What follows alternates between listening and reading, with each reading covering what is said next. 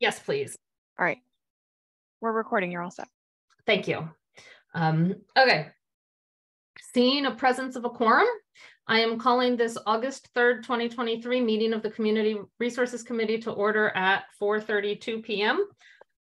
Pursuant to Chapter 20 of the Acts of 2021, extended by Chapters 22 and 107 of the Acts of 2022, and extended by Chapter 2 of the Acts of 2023, this meeting will be conducted via remote means. Members of the public who wish to access the meeting may do so via Zoom or telephone.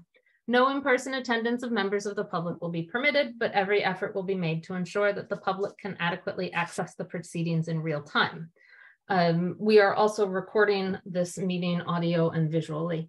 Uh, with that, I'm going to take a roll call attendance to make sure that attendees, committee members can hear and be heard. Um, our first two in the roll call, Shalini Bahl-Milne and Pat DeAngelis will be absent today. Um, and so Mandi Jo Hanneke is present, Pam Rooney. I'm here. And Jennifer Taub. Present. And we welcome Jesse Selman and John Thompson today. Jesse, can you hear us? Yes. Excellent. And John, I know we'll check in with you when when it's time for for your portion of the meeting. Um, but we welcome both of you today. Um, with that, we're going to basically get get started here. Um, we're starting a little bit out of order for those in the audience. Um, we have a special guest, Jesse, here, um, who is representing well, I, I, don't know whether you're here on behalf of ECAC, but you are the ECAC representative for this proposal in front of the council that was referred to CRC, which is the specialized opt-in energy code. And this is just a discussion item today. So we're going to start with that so that we take the least amount of time with Jesse. We take as little time with him as we can with him because he's kindly joining us. Um, and then we will move on to residential rental bylaw. And if there is any time after that, we will move back to discussion items and the follow up with the joint CRC AMAHT meeting and the rest of our items. Um, we will likely take public comment between the specialized energy code and residential rental bylaw um, so that because today with specialized energy code, our goal today is to collect questions that people have for if we were to adopt it. CRC's role in this is to make a recommendation on whether to adopt the specialized energy code. Um, and so today's purpose of today's portion of that meeting is to collect the questions we would like to see answered before we hold the public hearing, which will be held September 7th during our CRC meeting. Um, so we're not going to be discussing recommendations or anything today. We will do that after the public hearing is held, but we needed a little presentation, a, a, short one to talk about what it is and then to get our questions all out there. Um, so that's the point of that today. And so we'll probably take public comment between that so that if there are any comments on the specialized energy code, Jesse can be here for them before we up and let Jesse go back to his his life and his job while we continue our meeting. Um, are there any questions from committee members or anyone about the um, plan for the meeting before we jump right into that specialized energy code? Seeing none, um, Jesse, I know I told you maybe like a couple minutes to talk. I don't know whether you're prepared to just talk about what the specialized energy code is and all of that, similar to what you did at CRC, but not the in-depth presentation. We will do an in-depth presentation at the public hearing. Um, but would you like to talk a little bit about that before we open it up to questions? Sure. Yeah. And again, yeah, thank you for having me. Essentially, the building code contains a portion of the building code is the energy code. And and when you get a building permit for your project, it has to meet the energy code. And in Massachusetts, there are currently three levels of energy code. Um, there's the base code, there's the stretch code, and there's the specialized code. Amherst is currently uh, uses the stretch code, which means that it has incentive, you know, it, it regulates to, to be for buildings to use less energy, essentially. Uh, the specialized code is a next step above that, and that is, I think that's that's the basis of this is that's the question. Should Amherst go from the stretch code to the specialized code? Um, there is a lot right now in this is this is a conversation that's happening in in many towns right now. We're not the only one, so there's really there's an abundance of information um, on this topic, and I'm starting to put together a kind of a, a FAQ, frequently asked questions. There are existing FAQs made by DOER who developed the code. There's there's other points of view out there as well. The homeowners, home builders association, realtors have a point of view. I'm trying to sort of link, create a an annotated FAQ, and I think that's the that's the goal for this meeting. Is you know what are the questions, what are the concerns? Um, they don't necessarily need to be questions that say you know that that are concerning questions. They could be questions for which the answer would be a positive for this, one way or the other. And and this is a pretty neutral task right now, as far as I'm concerned. Thank you. That, um, yeah. So we will just open it up to questions. I'm going to allow for questions from Pam and Jennifer and myself first. Um, if John's got any, John is here. He's our building inspector, so he can chime in with any that he wants on the list. I know he's not prepared for specialized, but if he's been thinking about it, he can chime in. I also received questions from Kathy Shain um, and so I will put them and share screen so that everyone can see it. Um, it will go in that document I will forward to Athena later today to be put in today's packet. And all of those questions will be included in the document I create based on the questions today. Um, but she wanted them shared. And because of open meeting law, I was hesitant to share them prior to the meeting. So we will make sure everyone can see what they are during the meeting. Um, we'll start with Jennifer.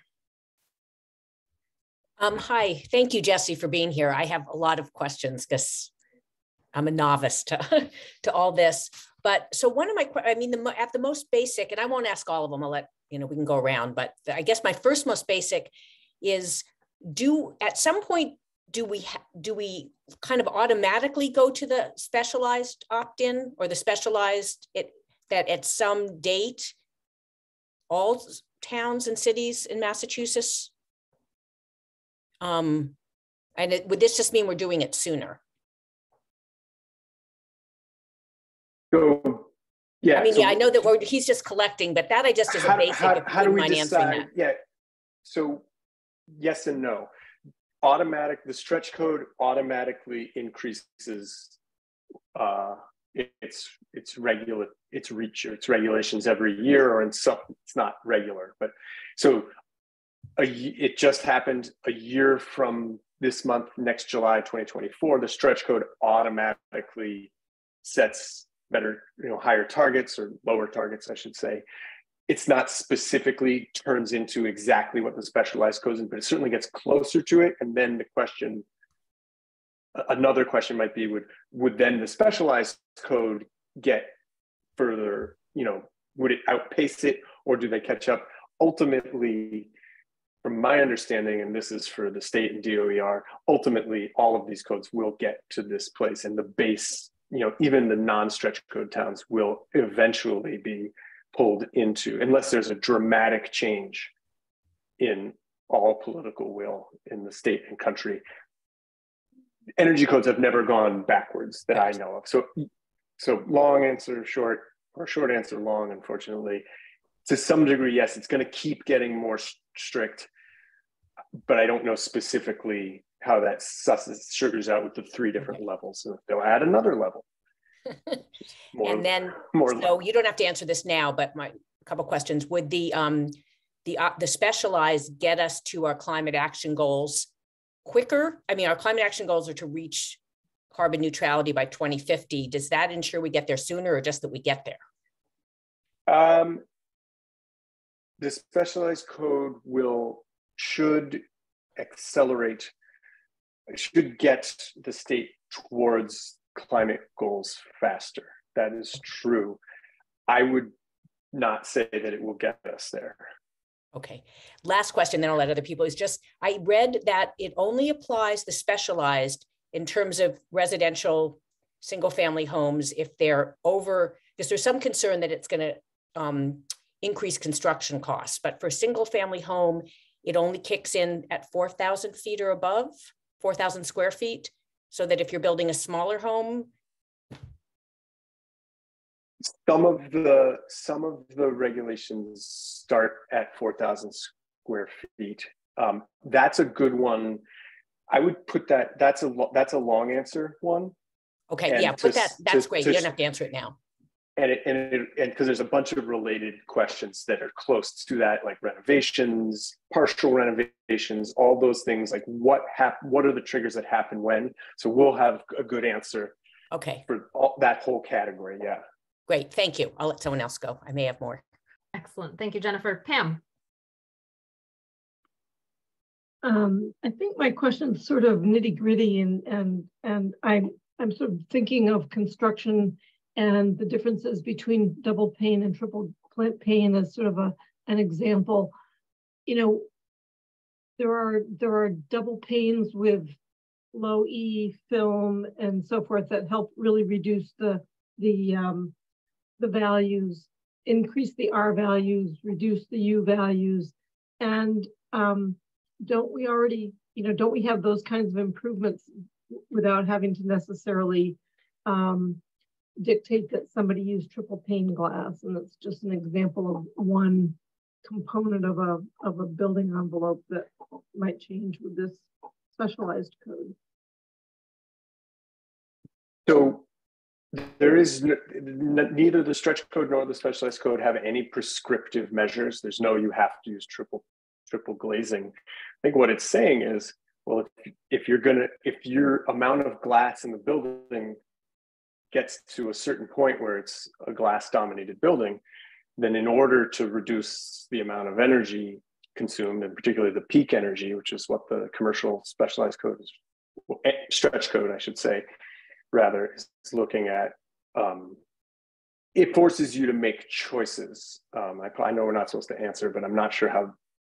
So you're not required to have triple pane windows. You're, you're required to show uh, levels of of energy consumption, um, and so and those that piece of it is already in the stretch code. That that's not different from. It's not conceptually it's not different from the stretch to the specialized so it's, it's not so the shorter answer would have been it's not prescriptive that's not a prescriptive measure that you have to do but if you but it's possible that certain designs would re, would require the upgrade to triple pane or the reduction of glass Thank you. Um, I have A follow-up to Jennifer, though, um, Sure. maybe I just didn't hear you say it. Um, so next, next July, the, the building code itself um, upgrades, we'll get a new code, we'll get a new version of the code. Um, did you say that the, that our current stretch code also will up it, up the ante a little bit as well as the basic building, state building code?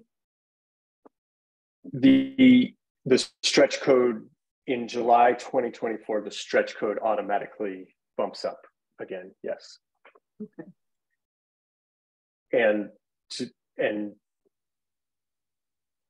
I don't know if this is pro or con for for people who for if it, I don't know if this pushes someone in the direction of specialized or not, but that is also the same time. That's when the specialized would take effect in Amherst would be July 2024. If if this went the way it's been mapped out currently, which so stretch code bumps up automatically and potentially it's specialized in that that's happened that's those two things one will definitely happen one could happen same time Thank you. I think it's me.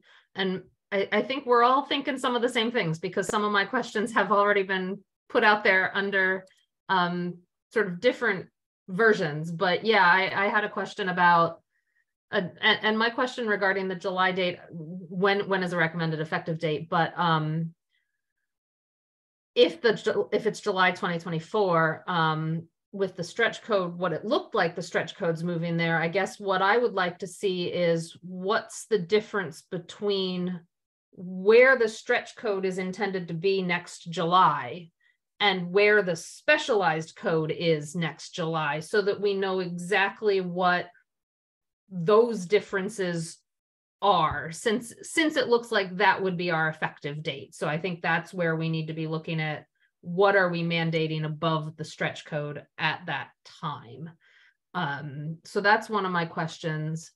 Uh, another one is can we estimate what the cost difference between those differences would be to build various size buildings? Um, and then another question I had was if we adopt the specialized code, there's some reading I've been doing that indicates that those additional costs communities should consider offsetting the additional cost to builders with other potential incentives. Um, and I don't know how that works since if you adopt the specialized code, it's just there. And so how do you put incentives in? But but one article I read talked about offsetting those costs with potentially things like additional density in certain areas of town or um, energy efficiency bonuses. I'm not sure what it would look like. And so I guess one of my questions is, um, would ECAC recommend adopting building type incentives or zoning type incentives if the specialized code is also adopted like like how do those work together at all and is there a recommendation from ECAC I'm not you know and and then what what other have our other jurisdictions done with some of that? Um, it was an article I read by builders and some building associations so I know they have their own sort of their their opinion right? But but it intrigued me. Um so yeah. it, oh yeah. it, that that's a question those are sort of my questions. Um jennifer you seem to indicate you had more. If you do we'll go back to you or i can throw up kathy's um questions now um i'm sorry i guess it could just be added on to like the question about you know, is there a like at 4,000 square feet? Is that where it kicks in for a single family home? I had read that it doesn't apply to historic structures, but if you maybe in answering that question, um, if it applies to retrofitting, because it said that one of the incentives was you wouldn't have to retrofit, but I guess I'm wondering at what age of a structure does, if, if that's the way it works, does the retrofitting kick in? So that was it. Yeah, I'll, I'll add the historic to that. That's that, and that is just a side note. That trigger is is has been very confusing for for various reasons to a lot of people, and including um, the people that wrote that. So we're going to do our best to clear that up for you. Um, Thank you. Um, I'm not seeing any hands, so I'm going to share the screen, but I will copy all of these questions into um, the document. But but Kathy had specifically asked if I could share it on screen so that everyone could see it. So I am doing that. Um, I see a hand up. Yes. Oh, Pam? Yeah, could I just weigh in before we get into, sure. into text? Um, and I'm thinking about and the fact that John is here in the in the audience as well or in the panel. Um, is the building is the building department able today to um, manage and um, and monitor construction techniques and what what do you receive from a builder that you have to review to assure yourself that they're meeting today's stretch code? Yes, and um, today's um, buildings have to be certified and verified by a HERS rater. So we um, look at those recommendations before we issue a permit, and then we look at those reports, um, you know, after the thing is complete. Great. I didn't realize that's good. Okay. Thank you. And thank you, John, for jumping in on that. Um, Okay, so I have put on the screen Kathy's, well, I'll, I'll page down to it. I know no one has read it, so I'll, I'll take some time, but, um, you know, um, she talked about some of these at the council meeting. Um, she, she wanted to know the cost impact. Um, and how much is that above what the current stretch code that we've already adopted would be if we know those items.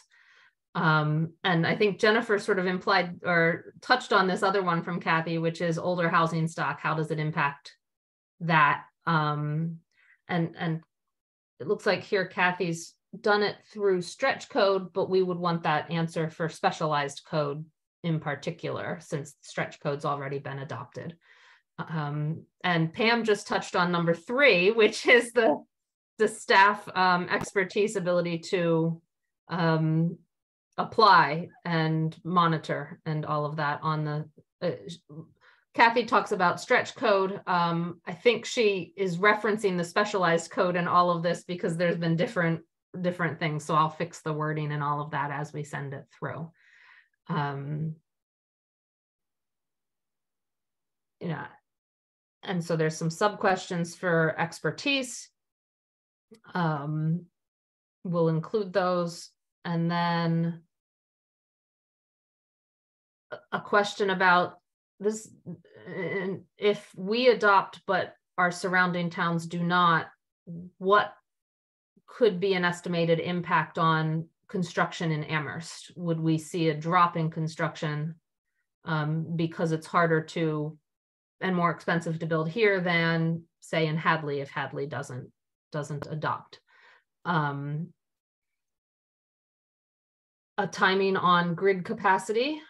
Um, and then uh, Kathy also talked about incentives here, but in a different way than I mentioned incentives. I think she's talking about incentives to builders to put in more strict energy efficiencies and, and higher energy efficiencies into their buildings, but the incentives go to them. Um, monetary incentives. The IRA is the Inflation Reduction Act for people who might not understand that that and that is um, the federal, it was passed about eight, eight months ago, right? Um, and it's got a lot of energy efficiency incentives where there's tax credits and stuff. And I think that's what she's referencing on that. Um, and so those are her questions. Um, I will transfer them to the document I'm creating, um, but those are, that's the document she sent me. So I hope I didn't go through that too quick um, for people to be able to read it. But like I said, I will put it in in the packet um, for everyone. Um, so, yep. So as part of the research we're doing, there's a lot of other questions that are being asked. Can, as we put this together, I assume we don't have to just stick to the questions that come up today. We can we can add more questions in that that acceptable in your minds. Yes, you can add it, it, it's it's your um proposal right? And so in addition to the questions we ask you can put any information you want in there um, to help us that you think will help us make a recommendation. So yeah you don't have to stick to just what we have. Our questions are are just sort of the ones that are in the front of our mind right now of what do we need that we know we need to be able to make a decision at this point. Okay. Great. jennifer um, thank you. Yeah, and I guess just to add on where my questions were coming from about square footage is in the Department of Energy Resources, the door um, frequently asked questions. It started to get into like it would apply, they mentioned to single family homes 4,000 feet is above. And I, because if, if maybe you could look at the, because we're not really looking to build a lot of, you know, 4,000 square foot plus houses. So if where it starts affecting construction costs are not really the kind of building we're probably going to be doing in Amherst, that would be helpful. Yeah, absolutely. You know? And that's how I'm thinking about it too. I think the, the, the 4,000 square foot and over, certainly from an energy consumption, unless there's, you know, a lot of people in that house, that's a, that's an outlier, I think, for most.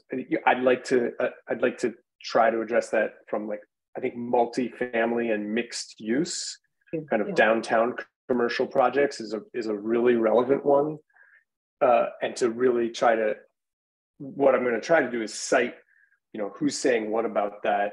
Um, but I think that would be a really helpful one to get cost. What are the triggers? What's the difference? You know, all those main questions. What's the difference between the stretch and the specialized? What are the triggers, whether it's a renovation or not? And then the, you know, sort of some cost information as well.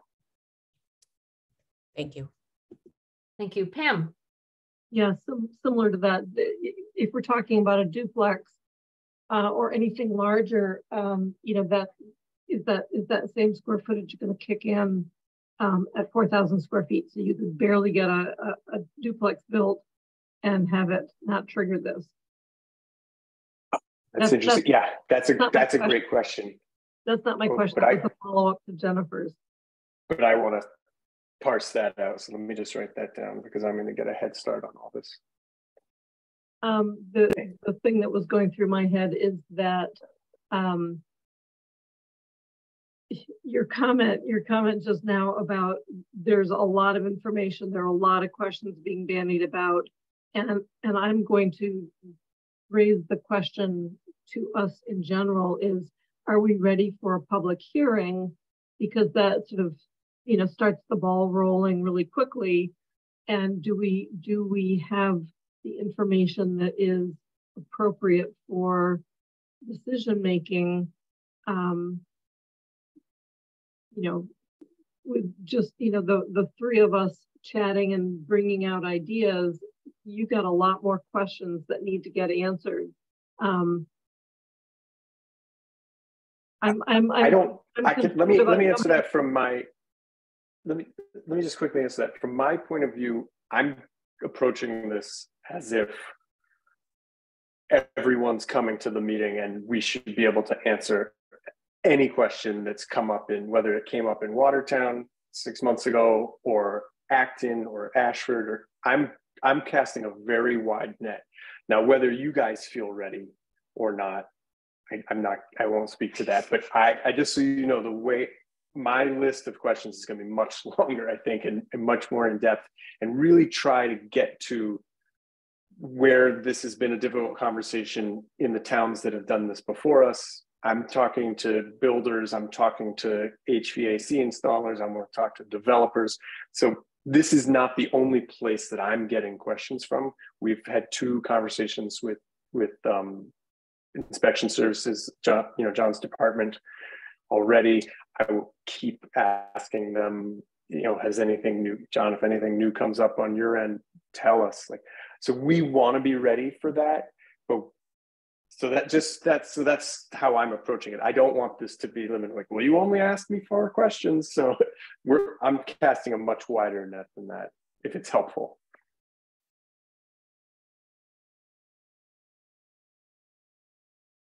Are you good, Pam?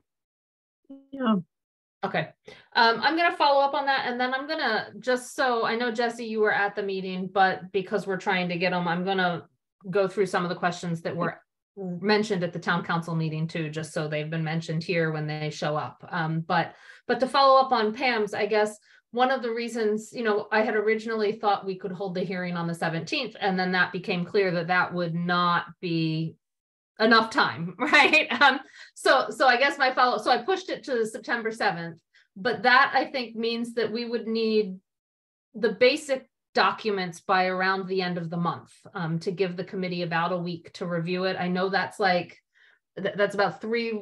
No, that that is about four weeks from now. So the August thirty first or so, um, which is right before the holiday weekend. Um, that we'd be looking at. So um, I know you might not have an answer to that now, but um, we have to post the public hearing on no later than August 24th.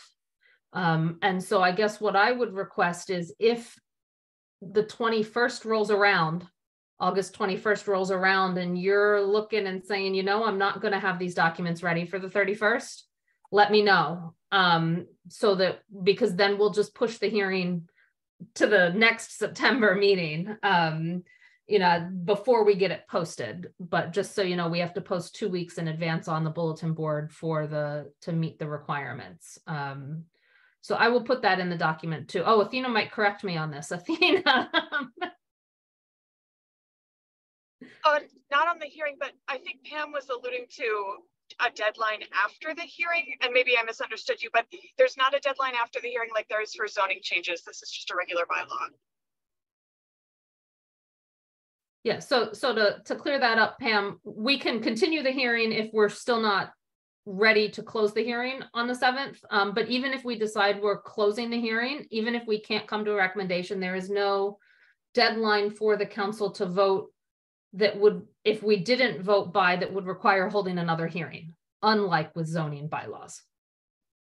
I think was what Athena was saying. Um, Okay, so. Would you I be will able, put those- would you be able to just tell me those, the, the, the series of dates again? so I. Or I can say, August twenty-first is when I would want to know whether you can have documents and the answers to the questions to me by August thirty-first. And August thirty-first is when I would want the documents for the packet for a hearing on the seventh.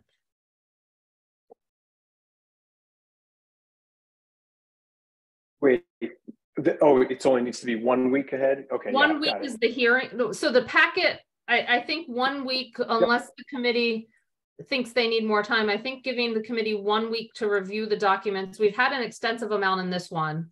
Um, so it would be the answers to these questions and any other additional documents. And if you send other documents to both Pam and I earlier, um, we'll find a way to get them posted.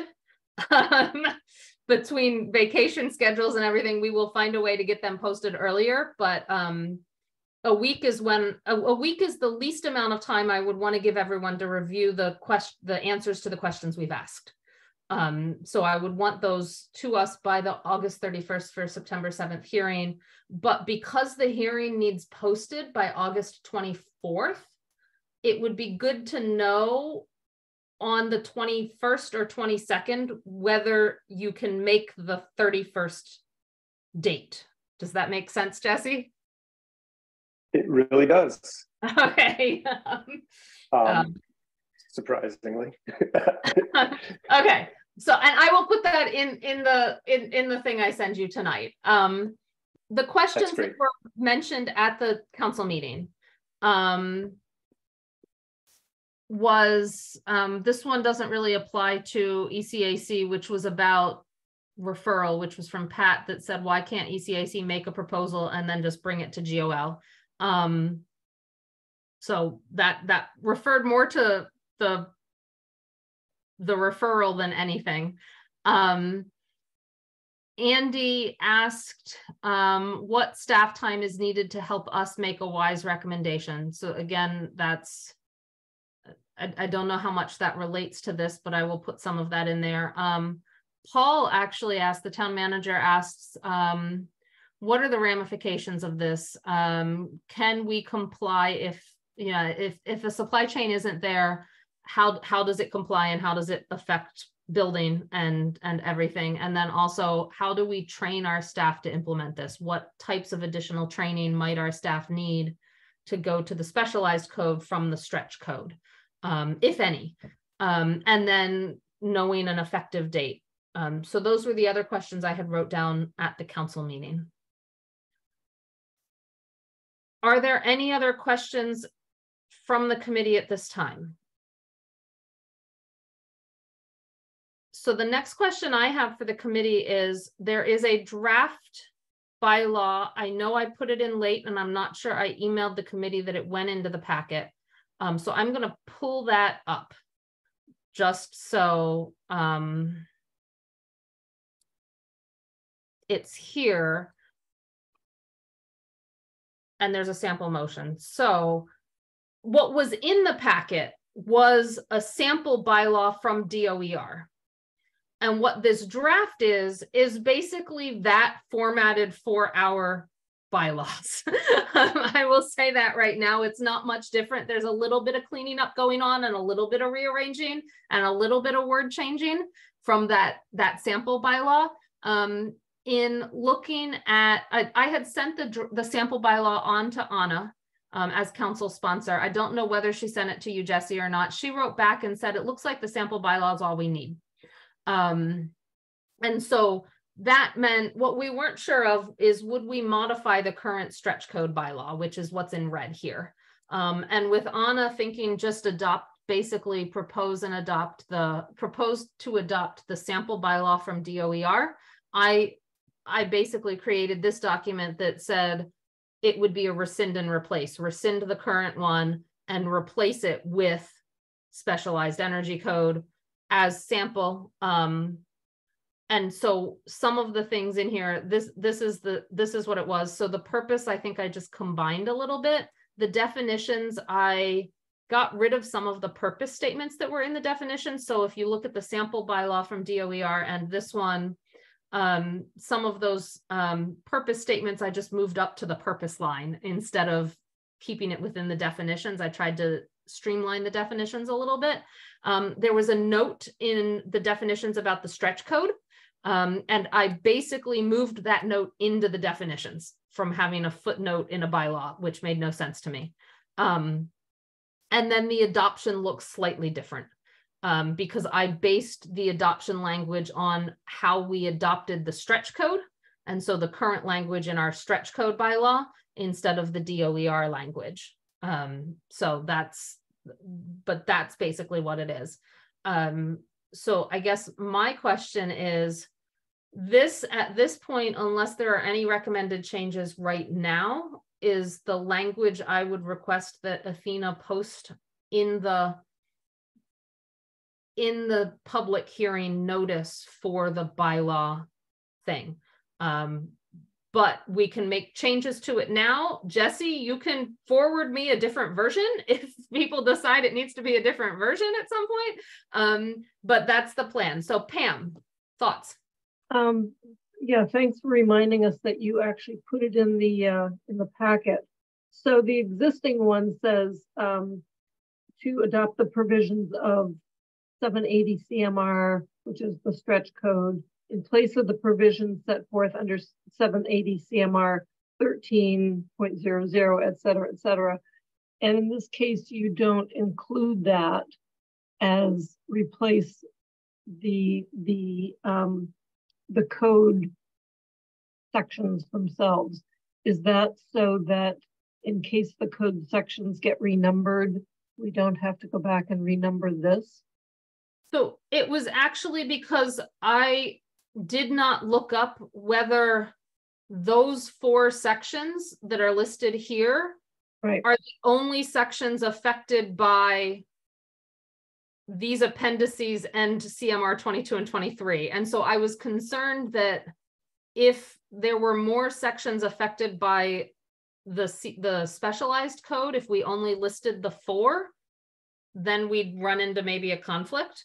And I'm not knowledgeable enough to know whether those four with the stretch code that were in the stretch code adoption were the only four affected. Does that make sense, Pam? Yep so so that's why I just changed it to applicable provisions of the Mass State Building Code. Um, it will it will potentially I, I would say it would potentially stop us from having the problem we have right now, which is this is no longer the reference to the stretch code anymore, as seen in this. Um, it's it's now 22 and 23, not appendix 115 AA. Um, we won't, we'll still have that problem because we're still referencing these. So if the state decides to change that, we'll, but, but at Okay. least now it'll say this. Okay, so point made, it, it, it would track a, an incorrect, potentially an incorrect reference. Hopefully, yes, that's the goal. Any other questions, concerns, or anything at this point on this draft bylaw itself? Because that's what we would in theory be making the recommendation on, is the language itself. Jennifer, So, and do we have to run this by the council since they voted to refer other language?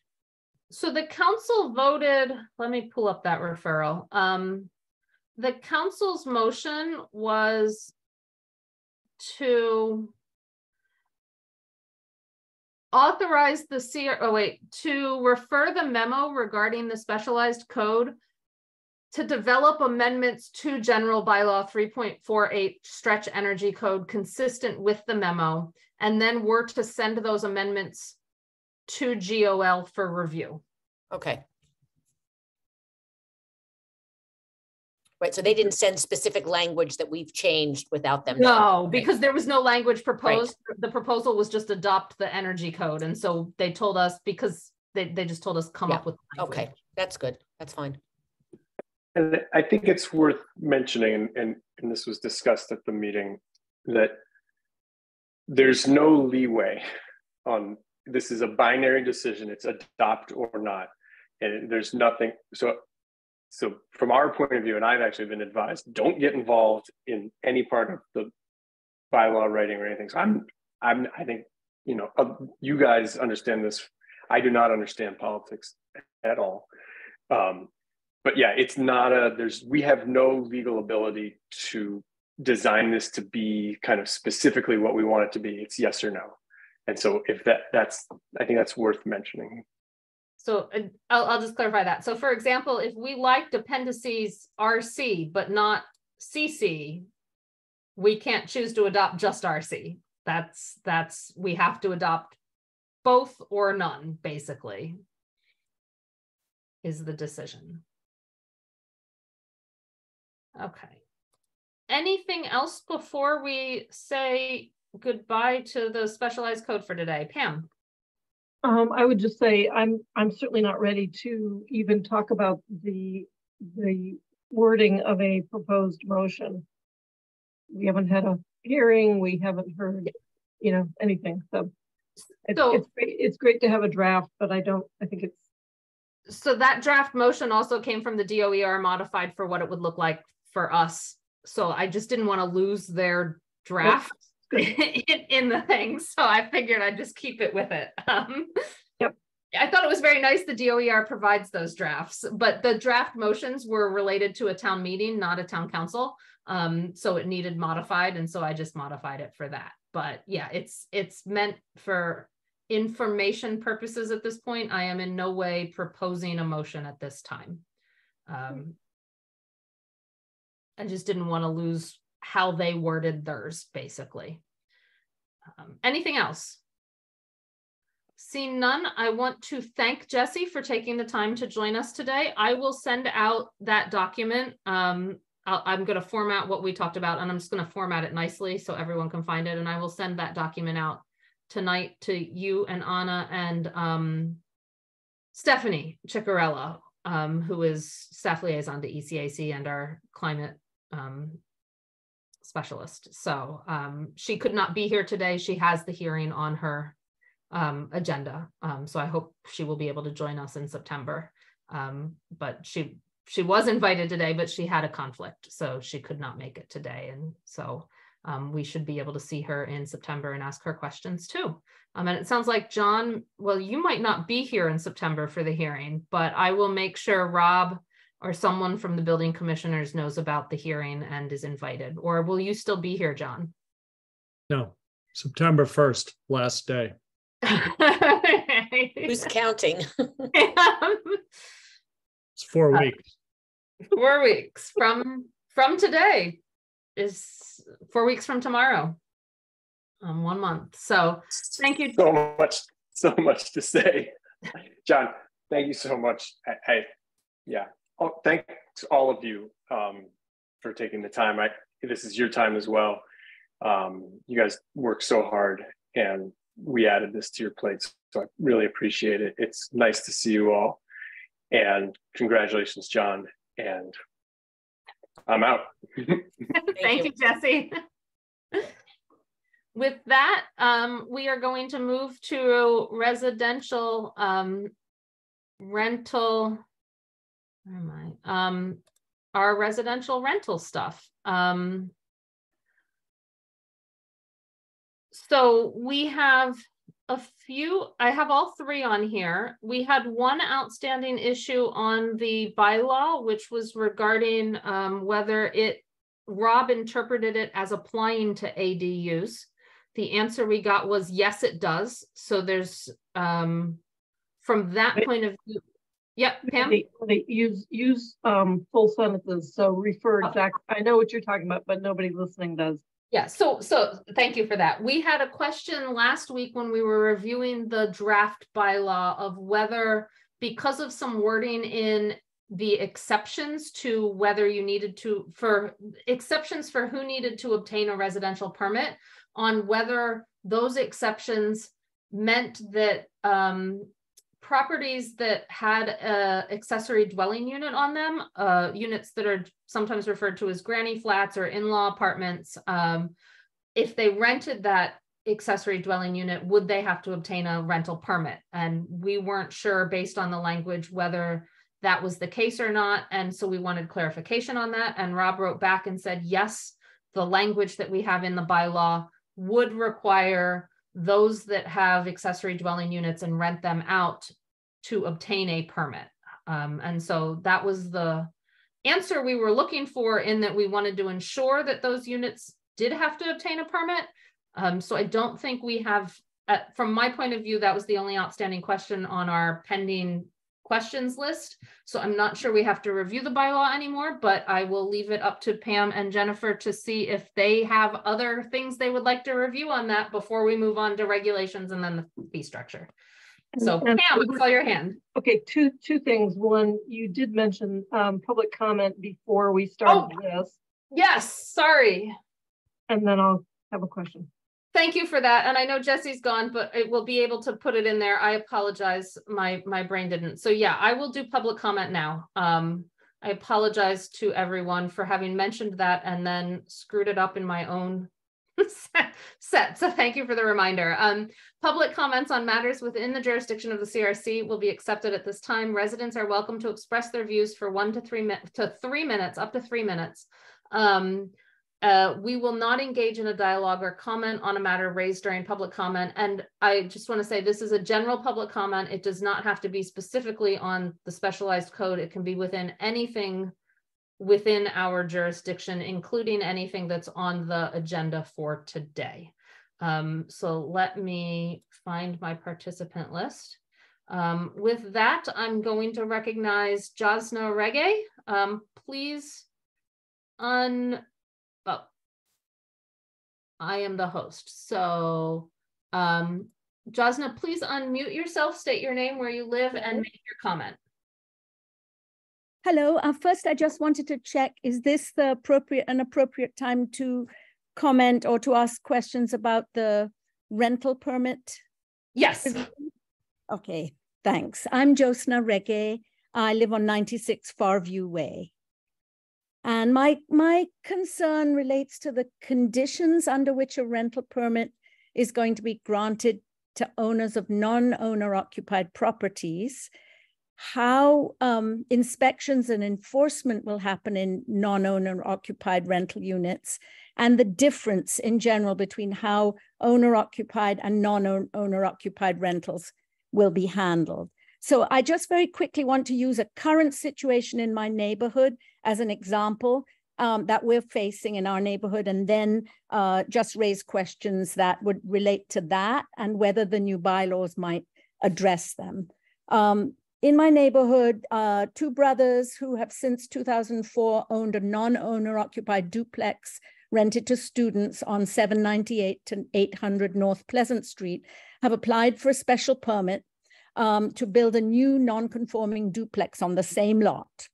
It has come just come to our attention that they're renting their existing duplex without a rental permit, even as they're proposing to build another bigger one. So I wonder, under the revised rental permit bylaw, uh, these are questions I have. Would inspection services have the ability and have the resources to identify rental properties in town and to contact property owners such as the Casey brothers who are renting without a permit? Um, second, to use the example of the same property, given the owner's long track record of negligence and violations, if or when they did apply for a permit, would it be just automatically granted to them? Or under what conditions might it be granted or denied? Would the rental history of the applicants be scrutinized? Um, again, using this example, if or once a rental permit were granted, or if it were granted, would non-occupied owner-occupied rentals um, have to pay a higher rental fee for their permits in order to help pay the cost of conducting regular inspections? And how often would inspections be conducted to check on the actual conditions in the rental property? Uh, in this situation, these uh, owners owned it for more than 16 years and ran it into the ground and it finally had to be declared unfit for human habitation. Do we have to wait that long? Will fines for violations be increased to pay for the cost of regular inspections and also for as deterrence? What, what other consequences would absentee owners pay, face for them? And bear with me, I just have two more questions like this, all related to this same situation. Should a certain number or seriousness of violations in a rental unit automatically trigger the permanent revocation of a property owner's rental permit? And finally, again, using this situation in my neighborhood, would a long history of violations have a bearing on the outcome of an application for a spe special permit to construct a second rental property? Uh, would it be appropriate for inspection services to provide information on their record to the Zoning Board of Appeals, for example? And I know John Thompson is here, and John, you know about this property. Um, so yes, um, thank you for your patience. Thank you, Jasna, for your um, questions and comments. Um, we do not generally respond to that, but that does not mean if you stay for the conversation, you won't hear some answers to those questions. Um, I'll just say that. Um,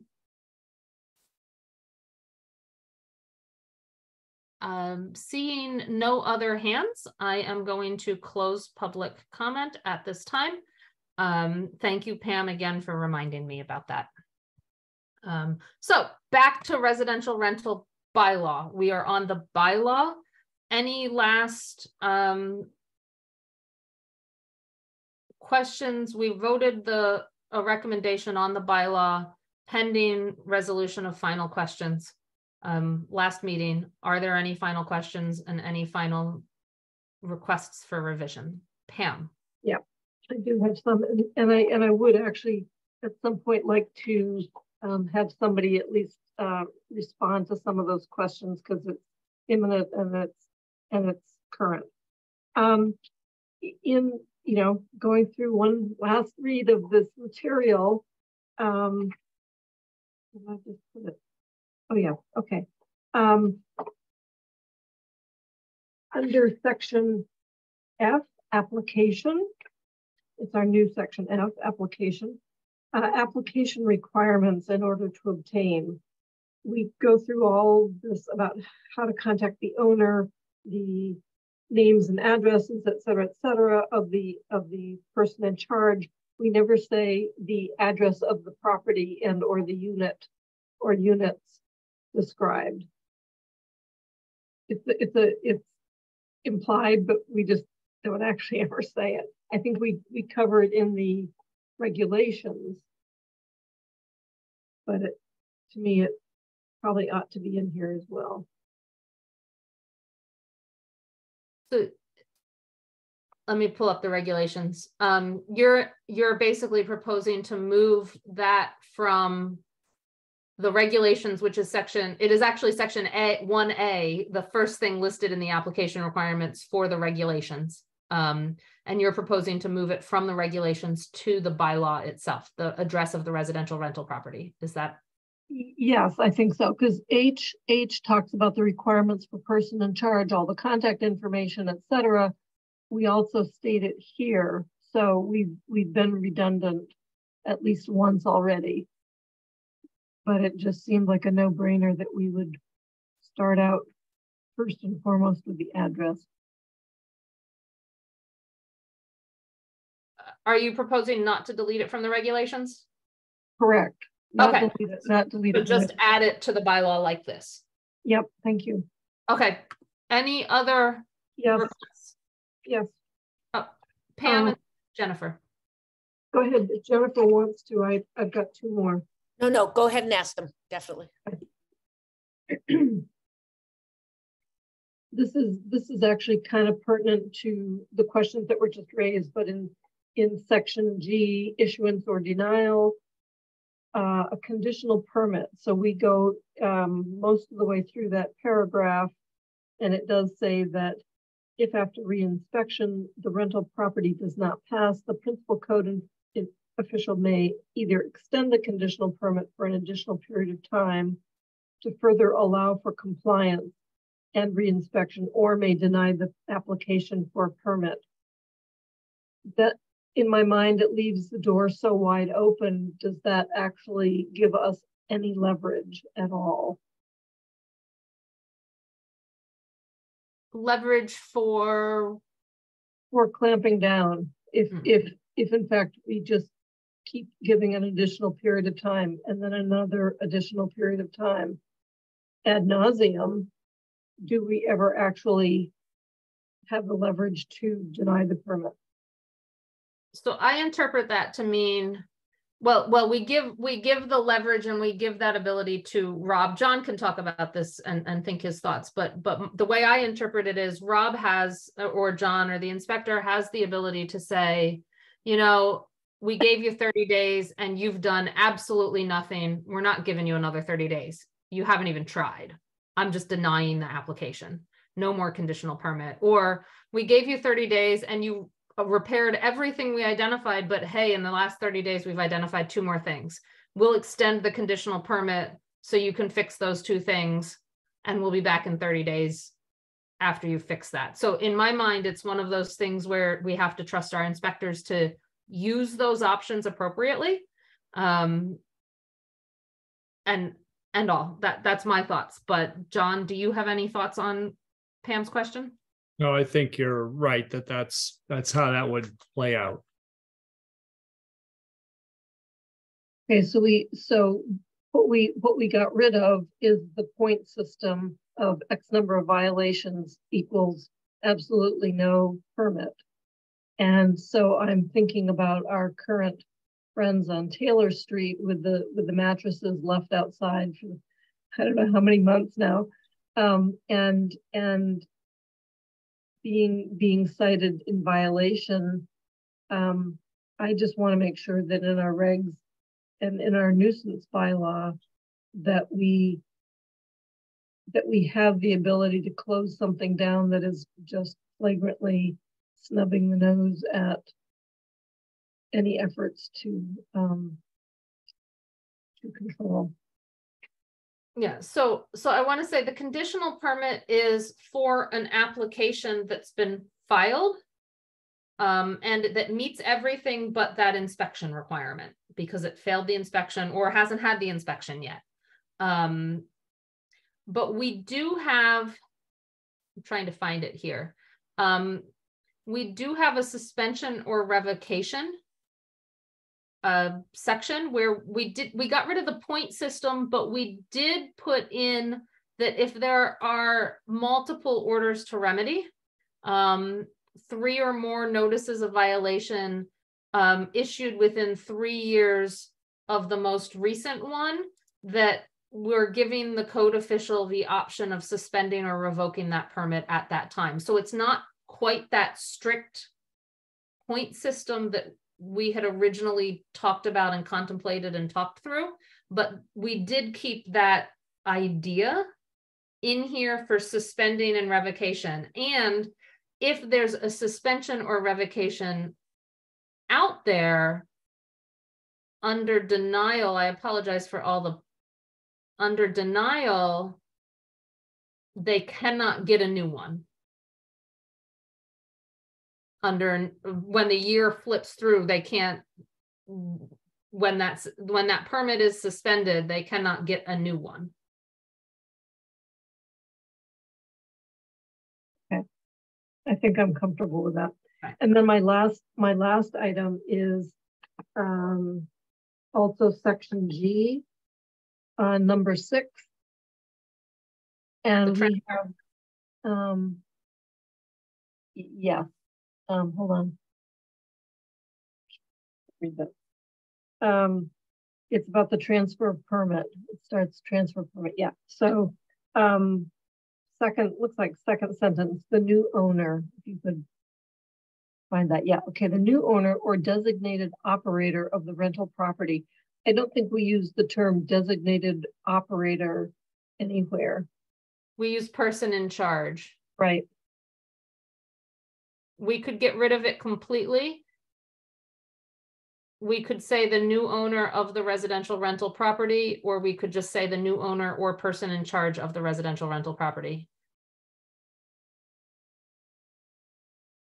Which would you like? We could have both.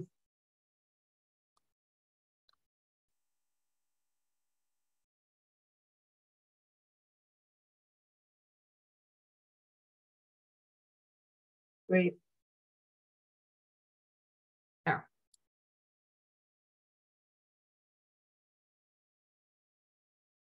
I think Jennifer's next? Um, yes, thank you. So I just have a general question if I could ask John. Um, because uh, uh, you know, I um, attended, I zoomed into the ZBA meeting for 798 to 800 North Pleasant Street. And when I looked in the packet, I was kind of shocked to see there's five pages of a police call log over more than, you know, an, an extended number of years. So these property owners were, well, two things. I mean, they were allowed to keep renting, although I suppose if I just learned through the comments that um, public comment that they didn't have, they didn't have a rental permit, if they've never had a rental permit, I suppose the permit couldn't be revoked. Um, but would, so a general overall question, the way we have revised and tried to tighten the residential rental property bylaw, would it kind of put a stop to, I'm just going to use the term scofflaw, to a landlord that has a series of violations over a number of years? Would we get, would, would the situation that we've had, that we've had with some usually absentee, always absentee landlords be, would, are we going to be able to address those? Will this, what our revisions do what we're intending to do and not allow a situation like that to just sort of go on? That's part of my question. Then the other question is, what kind of a penalty should we have for uh, landlords who just don't get a rental permit? And it's not because they don't know that we have rental permitting. It's a kind of two-part question. John? Um, the first part of the question, say that again, Jennifer.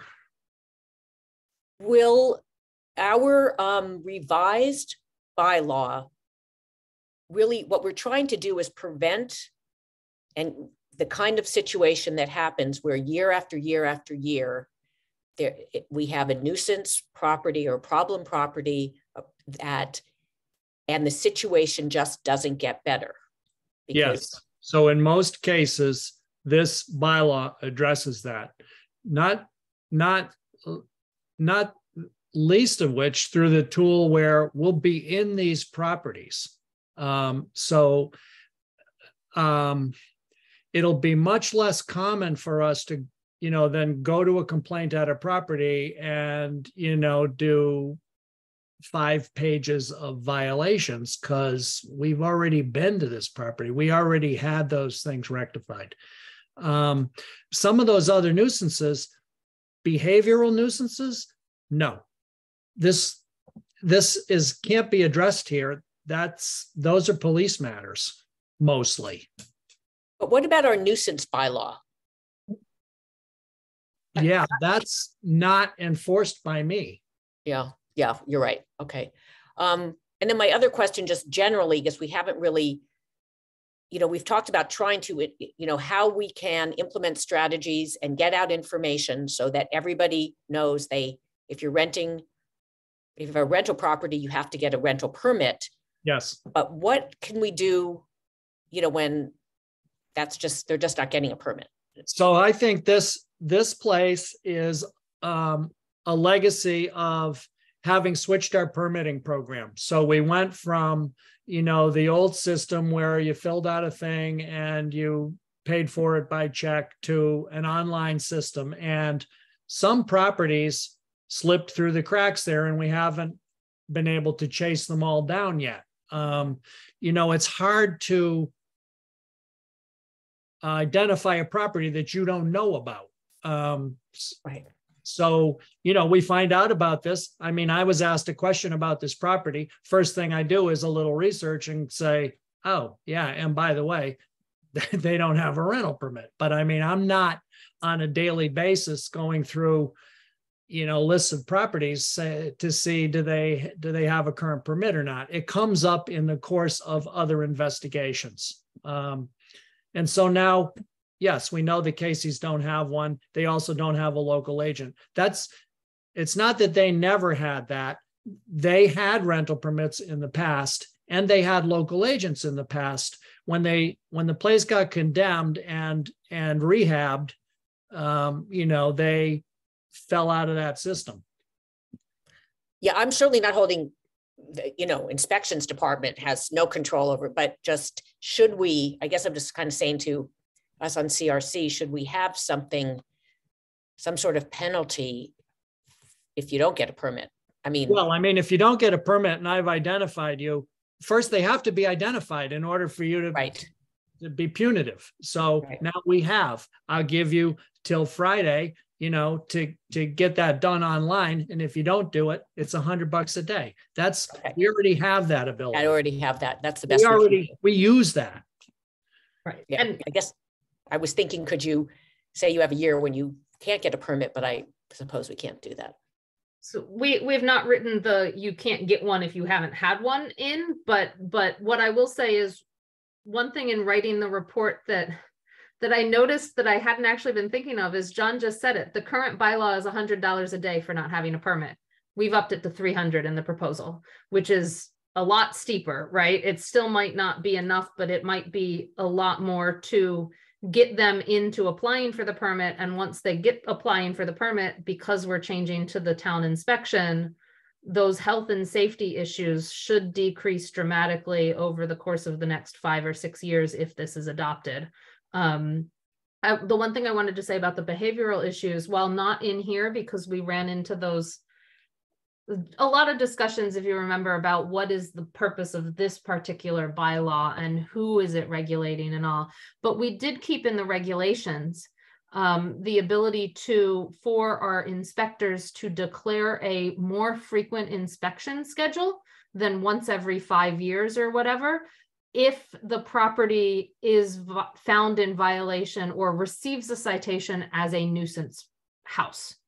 Um, we've kept that in the regulations as sort of on the frequency schedule for inspections. And so while it's not something that at this point would prohibit them from obtaining a permit, um, and part of the reason, again, in the report I wrote was we're in the middle of figuring out what that nuisance bylaw is going to look like, right? We we've started that and we haven't gotten back to a major revision of the nuisance house bylaw, right? And so maybe when we do, we can go back to this and and figure out a way to work that in. But for now, we've said, well, if you're going to vi- if you're found in violation of that bylaw, our inspections department can say, hey, we're going in yearly now. You're not under five years. We're going in yearly.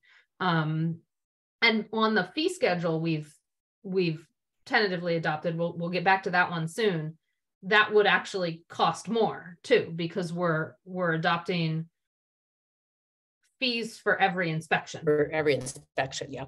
So a five-year inspection schedule is one-fifth the fee basically than a one-year inspection schedule too. Um, okay, Which underscores the reason for the inspection program. yes. Um, okay, Pam, Yeah, my question is, um, when are we gonna get back to talking about the nuisance bylaw? Do we have that on the agenda? it is, it is on the agenda for the seventeenth. As basically the only thing, unless there's questions on these that need answered because of Monday's meeting. So the goal is to focus on nuisance once we get through all of this. So yeah, um, that's the plan. Nuisance, so, August through whenever, hopefully we can get it done. So yeah. Um, any other questions on the bylaw? And, and simply because I think it's, I think it's an important part of the package Mhm. of, of bylaw regs and nuisance property. Yeah. So it, it's the next high priority. Um, anything else with the bylaw? I will add this and I, I have promised Athena that tonight she will get all the documents that are necessary from this meeting um, for Monday's meeting. Um, however much we do it, she'll get it all tonight. Post Um, CRC, dis- So post GOL discussion. Post GOL discussion. She'll have them all tonight. They might get posted tomorrow, but I will leave this one in tracked version because of the concern and, and the ease so that everyone can see exactly what changed from what they've been looking at in the packet. It'll be an obvious in red, here's what's changed. Um, with that, we're gonna move on to regulations. Um, are there any requested changes to the regulations? Let me pull them up um, so we can see what we were referring to um, with this this was the application thing where we had mentioned the address. I just copied it from here into the bylaw. Pam asked to keep it in here, so we won't be changing the regulations on that one. Any other requested changes to the regulations we voted last time? I could not find any outstanding items on it, which is why there's no comments here. Um, but if there's requested changes, we'll make them. Pam? again, while John is here, um, you know, I, um, I, I would just ask for the one last time, you know, is there any way that we can make sure this does in fact accomplish what we wanted it to? Is, is it good? Is it, you know, is it solid? And will we get the results that we hope for?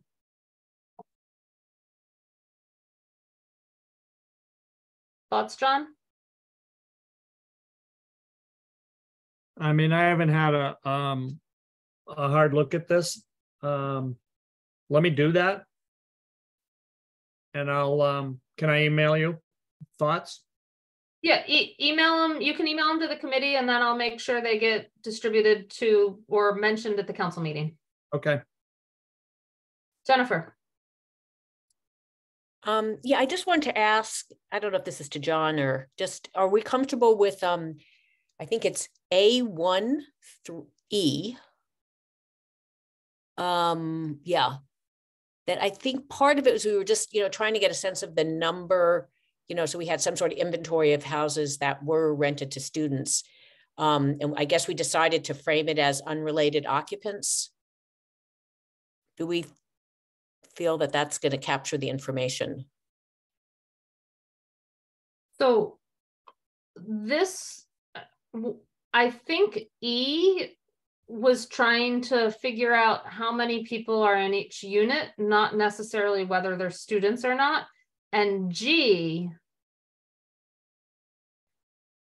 is trying to. Oh, you're right. I'm sorry. I, I'm sorry. I, yeah. I focused on E and I then didn't. Yes, thank you.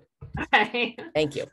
Boy, you have this memorized. This is, no, I mean, you know every section of, So I've spent a lot of time with it. yeah, I know. Anything else for the regulations?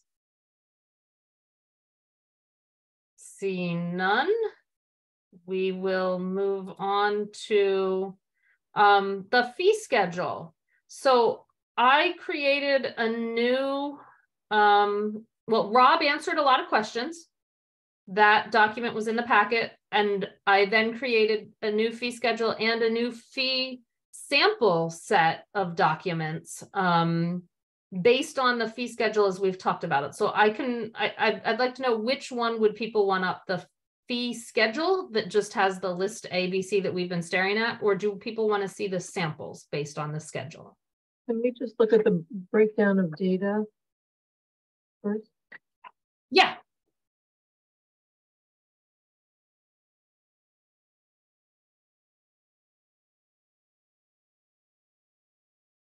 Oops, it's not that one. That's, that's straight from, that's, um, it's the rental permit breakdown data. oh, on the, on the fee schedule. Yeah. Okay.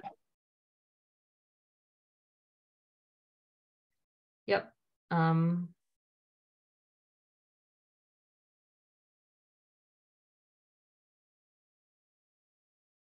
So this, this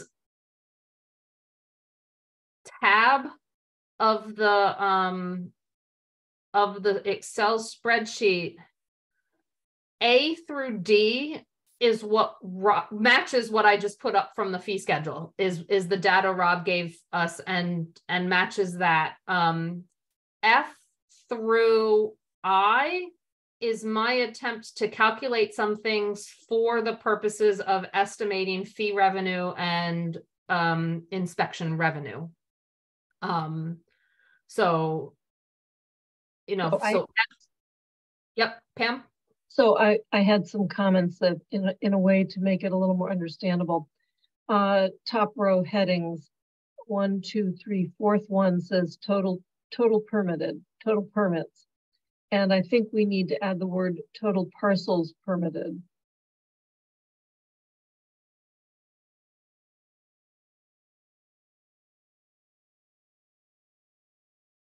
Okay, Um, that way we understand that, that these are just parcels. They're far, far less than the actual number of units. So, um, that looks fine. And actually the math on the first column down at the bottom should be hundred and eighty-three, which you did use somewhere else, but for some reason it's hundred and eighty-two here. this one? Yep. Oh, I, I took that directly from him. I didn't actually sum.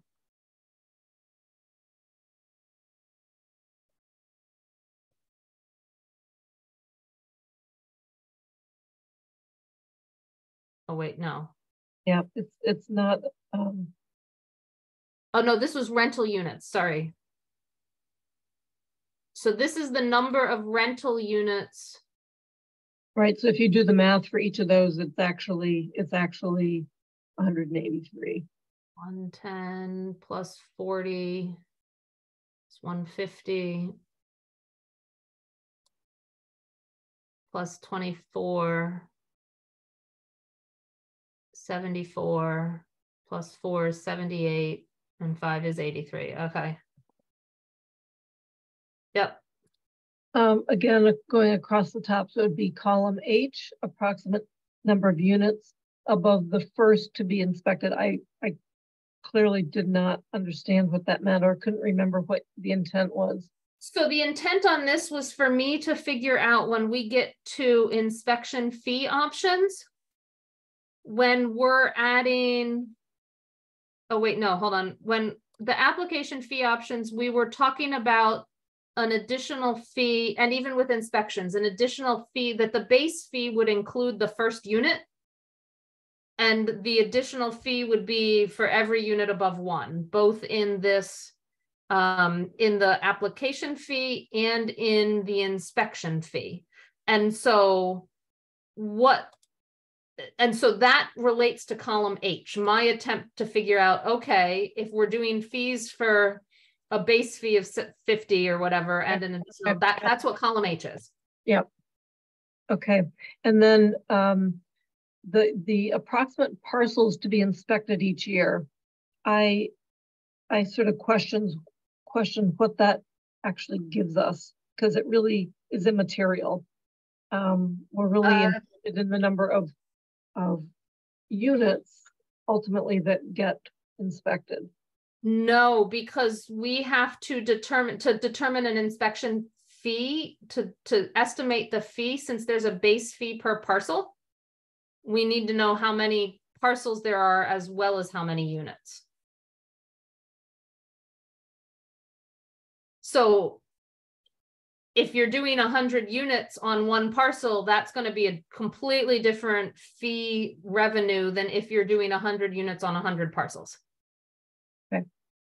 So it's an attempt, that's why I always say approximate on those, because you have a lot of guesses in those numbers. Yeah. So, um, then my, my follow-up then question is on your, let's see, it starts with yellow cells or variables and it's the inspection. I, I, I just jumped to the inspection fee. Um. So over on column, let's see, average number of units inspected per year. So we've got this number and I'll, I'll accept the math um, as it is. But the thirteen forty-eight is the number of units expected to be inspected per year. And I think that was something that was based on five thousand divided by five, I'm guessing five thousand one hundred and thirty-five. So this one, Yeah. So this one on this sheet is just a sum of these numbers. And I cross-checked it with over here. Um, and here we get ten thirty-four or so on this breakdown data of approximate units to be inspected each year, thousand thirty-four. So we go to here, that's where this number comes in. But these next two numbers relate to follow-up inspections. So there's approximately a thousand units that'll need inspected every year just for permitting purposes. Some of them will fail inspection. And so when they fail, they'll get re-inspected. So that's this number here in E8. And then there's a certain number of complaint inspections, number of complaints called into inspectional services per year. And that's a different number of inspections. And so when you add all of those up together, you get that number. Yep, okay, so, so I'll, I'll accept the math. So the question is though, somewhere else you had, how many, how many, um, units can a, can a person inspect in a year? And I think the number was two hundred. Yes. The So the question is, on this, and this being just, you know, an annual number, do we need six point five inspectors to do the work to inspect thirteen hundred and forty-eight units? So that's something John or Rob, Rob estimated, and that two hundred is number of inspections, and I, I wasn't sure whether that is parcel inspections, which would be three or so inspectors, or whether that is unit inspections. We're talking units. Well, Unit- well, I don't know what Rob, what number, Rob gave me the two hundred. And I just don't know, I, we need to clarify that, or finance will need to clarify that. Um, but it's, yeah, Rob had actually estimated, I think, two and a half to three inspectors for this program. So I don't know whether that is these numbers. And Rob's not here, maybe John has had those conversations with Rob, or whether that is those numbers. Um, these are just an attempt to give people an idea of, of everything. They're very fluid numbers. John? They're fluid, but if we, but if we are sending this along as sort of an explanation of our, of our thinking, then we need to have Right. it kind of accurate. We're, we're, ho- I, I've, I've tried to, based on things I've gotten from Rob and everything. John, do you have any thoughts?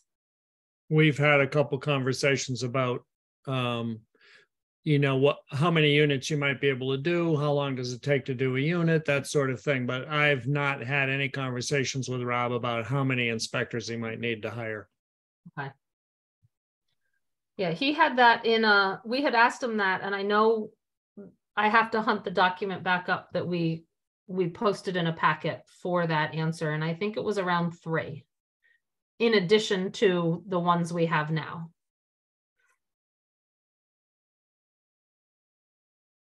So if you have, if you have, um, I haven't, if you have, a let's, let's say you have a two thousand hour, twenty eighty hours per week of, of, a person on salary. Um, and that means that every ten hours, they're having to produce another inspection, write it up, follow up. Two hundred sounds probably not too far off. Yeah, Rob estimated that each, each inspection takes about an hour and a half. Um, when you get above three units, you have to add another hour for every inspection. That was his estimates. So these numbers here, what I put in yellow are basically just, this is, I, I call them variables. Uh, as Pam has pointed out, some of these numbers are best guesstimates um, in terms of what can be, you know, based on data, those numbers might not be, they're, they're guesstimates, they're, but they're, they're best based on the permit data we've gotten and the information from Rob. The stuff in yellow is really, um, where if you change if you change the numbers in white you might get different numbers over here. But this is you know if we decide we were trying for um an inspection base fee of $100, if I typed 100 in, the total fee number would just change. Um, and you'd see that number change and this num number here change. Um, and so that's why I called those the variables. Those are more like the numbers we'd be sending to finance to kind of play with based on the estimates we've made. Um, and same with application fees. So the application fees, um, again, the numbers down here were based on items Rob gave me. Um, the three sets here are based on what at the last meeting we as a committee had tentatively agreed on would be the application sort of um, breakdown in terms of where fees might change. And um, an owner occupied parcel that had up to six units would have one fee. Um, an owner that had a principal residence in town and owned no more than three rental dwelling units, whether that be one, three parcels with one unit each, or one parcel with three units, or one parcel with two units and one parcel with one unit, it wouldn't matter. A, a different fee, for, and, and that fee would apply to each parcel that that owner owns. Um, and then all other parcels would have also a base fee. And, and as you can see, um, I only put in additional fee per rental unit for, really I put a number in for the third one, all other parcels, because that's the one we had really talked about, but I left all three in yellow. We could potentially aim to recommend additional fees. For the other ones, we had actually not on our fee schedule, which is why those numbers are zero um, because our tentative fee schedule was only going to recommend an additional fee per unit above one unit for the all other parcel line. Um, and so we could make as many options as people want, but I put two in there just to give an idea of for for people. We were, I think our plan was to just send this on, but send it on with our proposed structure, which is why I created this. Pam, and then I think Jennifer might have had her hand up. Jennifer had her hand up. Jennifer. Well, Pam, if you had a follow-up question. Can... It was it was more just, is it possible for um, the department to actually under, be able to identify who has three units?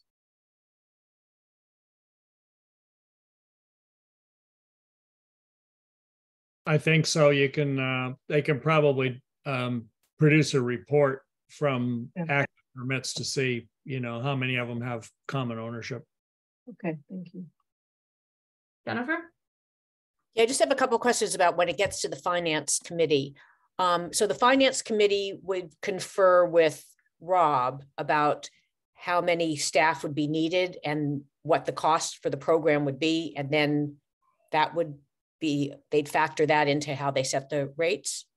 So I, I can't answer for what finance would act, would ultimately do. I would forward on this document in an Excel spreadsheet so that finance and Sean Mangano have a chance to play with it. And Sean's much better at Excel spreadsheets than I ever am. He might be able to do something different with it.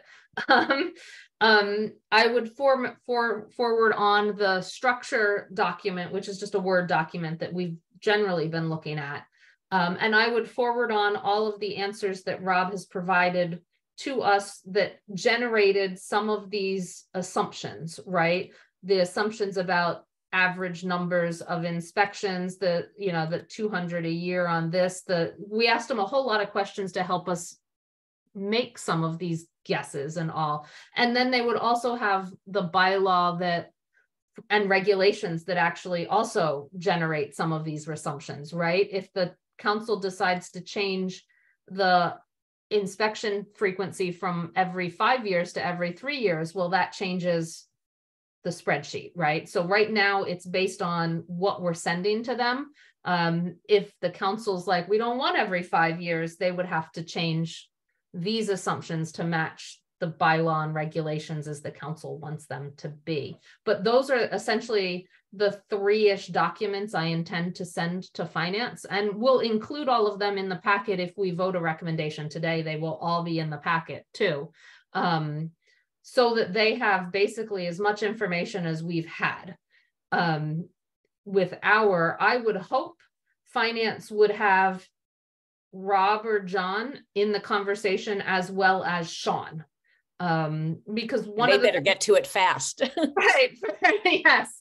Um because one of the things we've struggled with is we've got an rob estimated and i don't have that here at all but i think he estimated a total program cost based on our um based on the current bylaw of approximately a half million dollars a year 450,000 i'm not sure what the right number was but he estimated an actual number um, and one thing we've struggled with is do we have to match that number?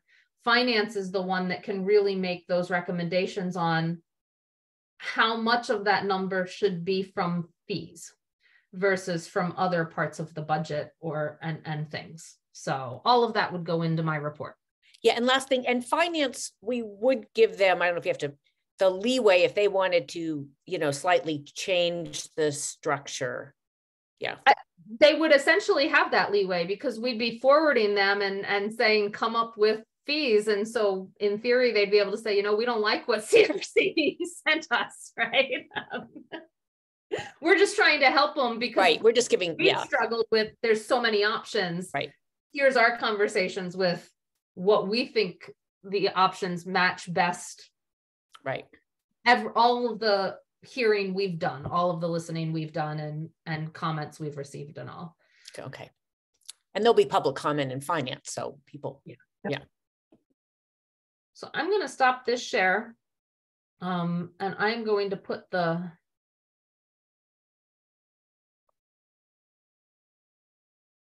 this is the document we've been spending the most time with. Um, we can put numbers in some of these if we want. We can leave numbers blank. We could potentially put number, we, we've essentially put a number in the permit renewal late fee. Um, right? Um, but um, which also goes to one of the questions we had discussed today, which is if they don't have a permit and John finds them, well, they didn't, if they had one and then never renewed it, well, the late fee is what might apply because they haven't renewed their permit, right? Um, and that's actually much more steep than a daily fine almost, um, depending on the fee. Um, but it might be both. So Pam, Yeah, we had a good comment from uh, Renata Shepherd about item D, and that was the transfer of permit fee. And, and she made a good point. Uh, Owner X sells a property, owner X has already paid a, a, a fee for that year.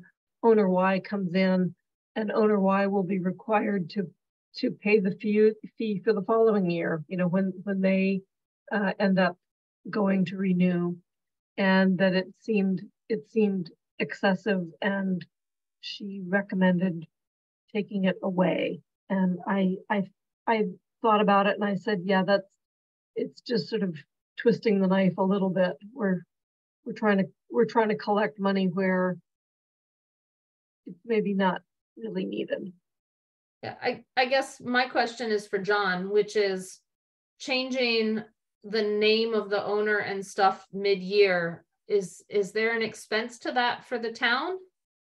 Yeah, it's an admin expense, you know, so if somebody sits at a computer and makes that change.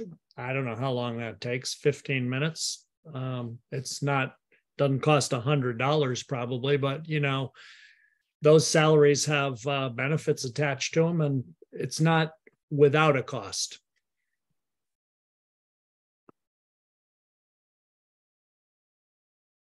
Do we have a recommendation? You know, it, it's listed as an option, as a potential fee in the bylaw, and I would certainly want to leave it as an option in the bylaw. Um, we can always send the schedule through if we have a recommendation not to actually implement one at this time.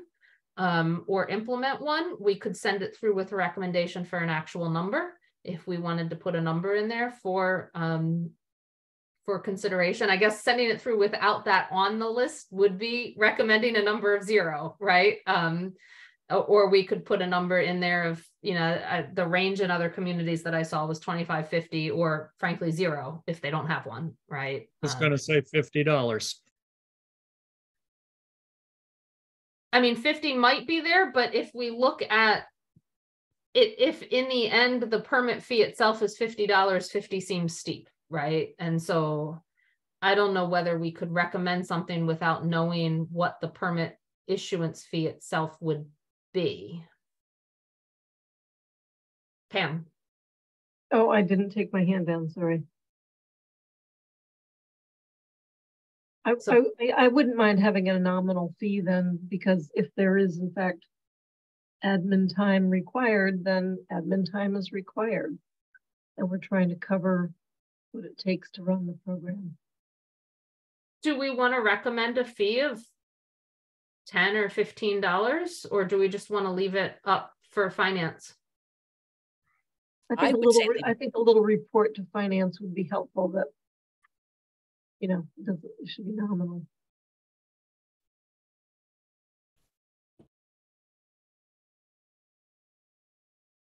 I'll just put it in the comments. Does that work?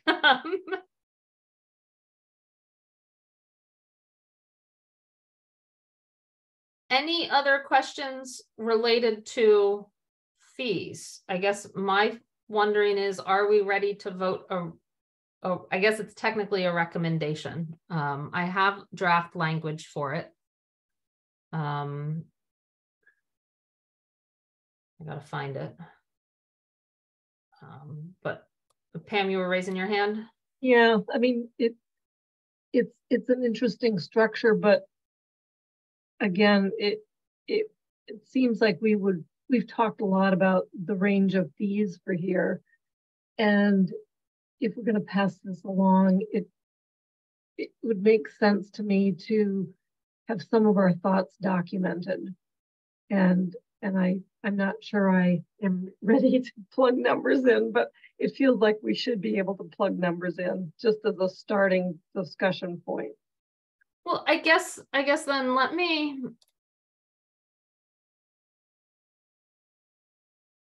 Let me go back to this one. There's only two options. Does, and they actually estimate a wide difference in fees collected. Um, but is there an option that seems or or does someone I, I can easily sit here and change one of these to different numbers if people want to see some different ones. We could potentially send this through looking different and saying you know of what we're our schedule samples crc leans towards x. You know we could we could definitely say something like that. Um, or you know has no opinion between either option. If we want to put options out there, we could change these numbers or, you know, sort of lean towards one or the other. On this one, Rob and I were able to estimate that the cost to process all applications would be approximately 140,000 a year. At, at last time we did this with his answers, that may be different now, but um, So the, so meaning the, the, the numbers plugged into the option one really kind of cover the program. uh, are much closer, but that that doesn't mean, you know, I, I, I gave a couple of different options here, right? Um, option two is a much larger permit, maximum permit fee. Option one is not. We could look at an option two. We could put in a different option two that's closer to 150 and see what it looks like. Um, you know, with an owner occupied parcel with an even lower base permit fee or something, you know, um, if someone wants to throw numbers out and tell me which option to throw them in, I'm happy to do so. Pam, I'm actually thinking that for all other parcels, I, I would, I would think that hundred and twenty-five is probably a minimum. so you would say for option one, go to one twenty-five? Yeah.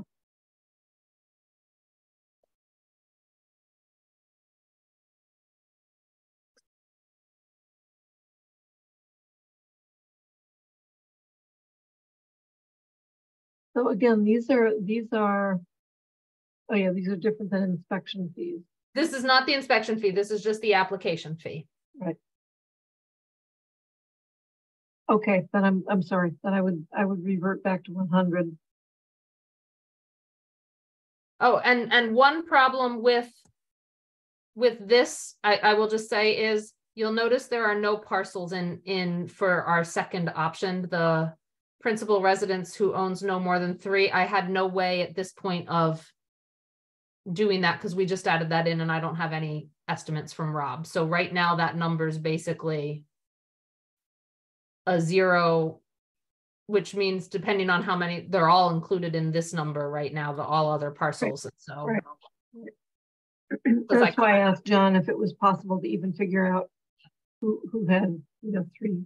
I, I can add to um, the report that finance would want Rob to estimate that, that number of parcels.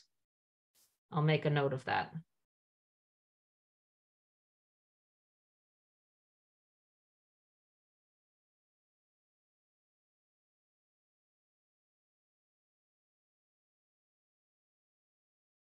Yeah, I'm actually fairly comfortable with the numbers 50, 75 and hundred. with the five dollar additional. Yeah, Yeah, I am too. So what, what I can note is, um.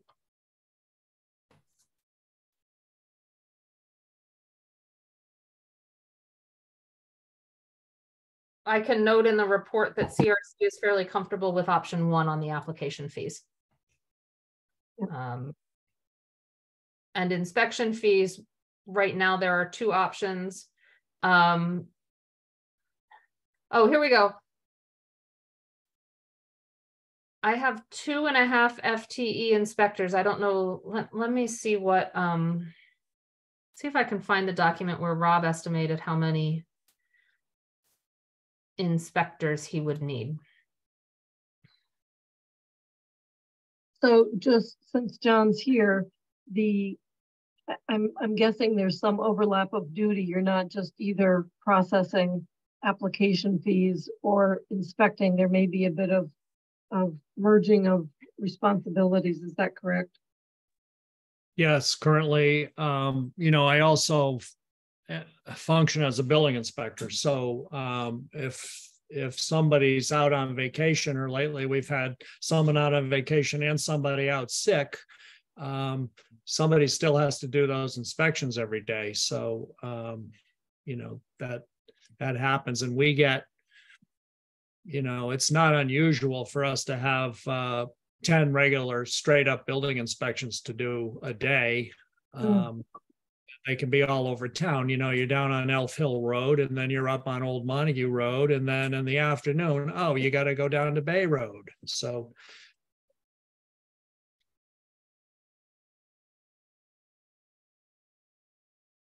So I found the document and Rob. Um. Estimated a program cost of about five hundred thousand dollars, um. And. I'm trying to find the number of inspectors. So is that the combination of, of the estimated cost for the inspection program of two eighty-five? And then cost of, of applications? So Thirty-eight? It was a total cost and he estimated three code enforcement officers, one lead and two non-lead code enforcement officers. So let me fix this number to three.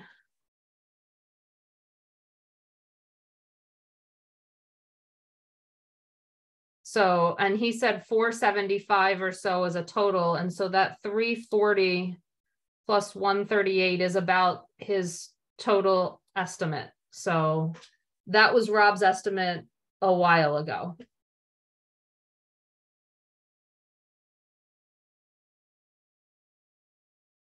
So as you can see, the total fees are well lower than the potential program estimate of three forty that I've put in these numbers.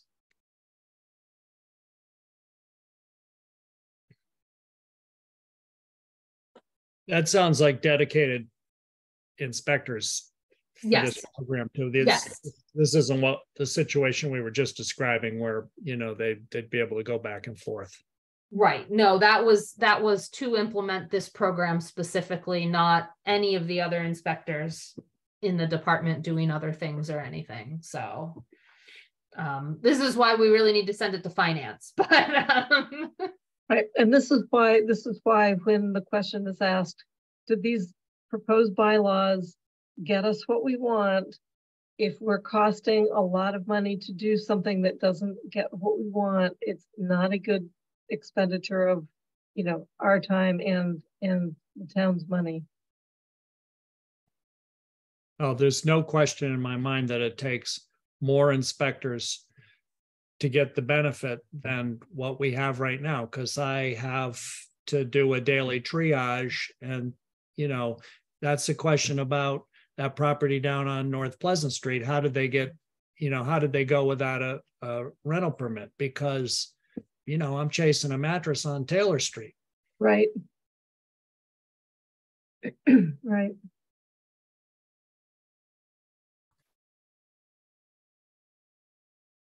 So the other variable on these options, you'll notice that the complaint inspections are much different.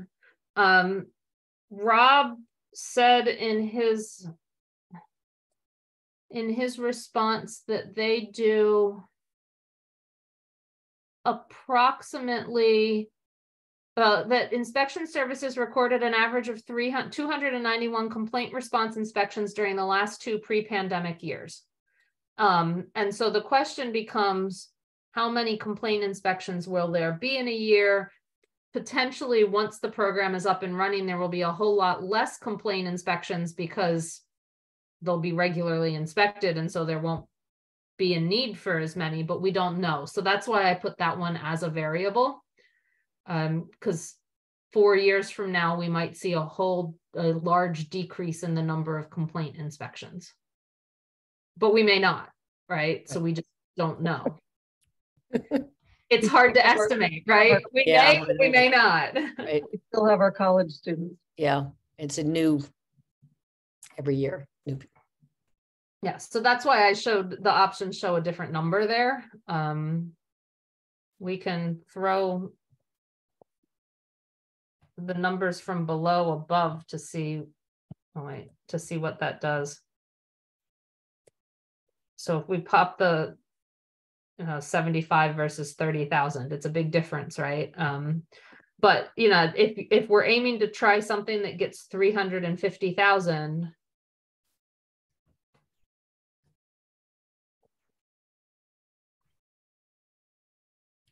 we went into this knowing that we would need a more robust um, inspection force. right?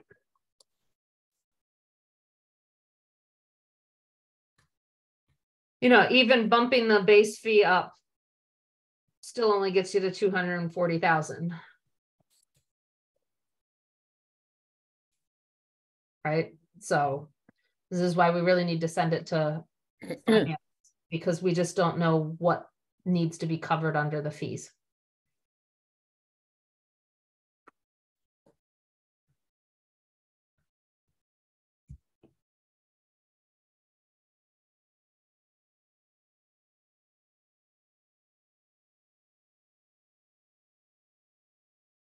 So thoughts on this document in particular or a, a motion to the council? Are we okay with leaving this document sort of really up in the air in terms of, you know, we've, we've kind of said, we like option one, it seems to cover the costs of the application part of the program and, and everything, but option two on the fees, we have no idea, right? Um, um,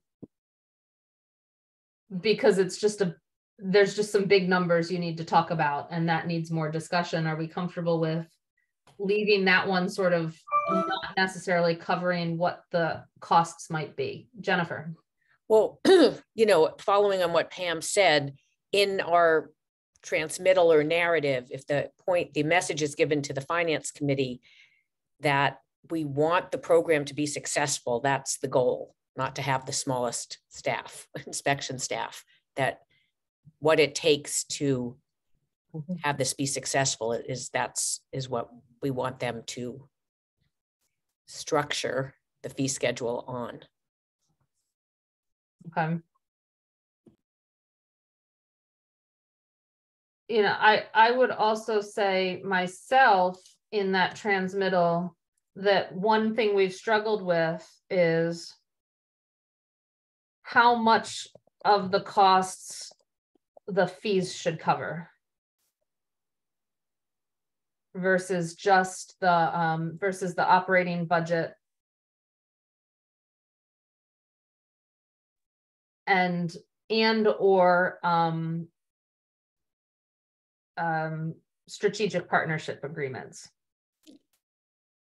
Right, where, wherever the funds come from.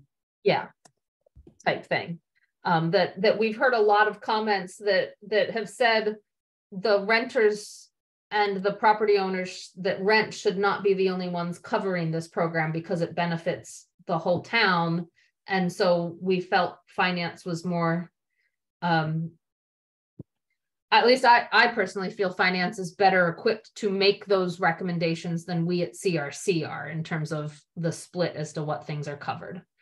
Um, I agree. I agree, just that they know we want the program to be successful and I, however, yes, and that we don't want to do it on certainly on the backs of um, those who are just, you know, renting a couple of units. Yeah. So does this one at least look okay without us in the report talking about any potential preferred option for inspection fees? More of a just comments on what we want, what, what our thoughts on just a fee structure in general are as it relates to inspection fees?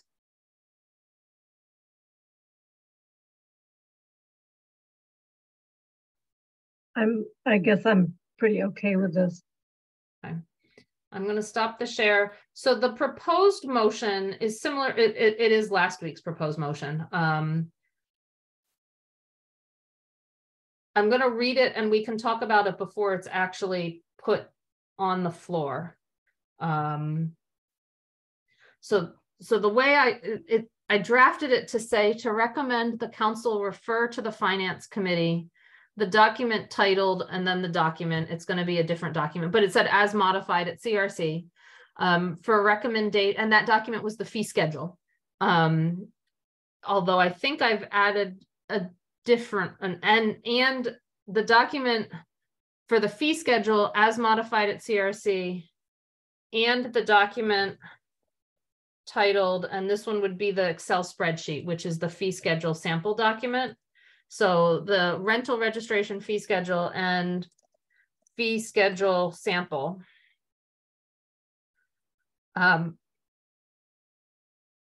um, for a recommendation, And, excuse me, and, and the, the rental permit breakdown data. oh, those are in the documents.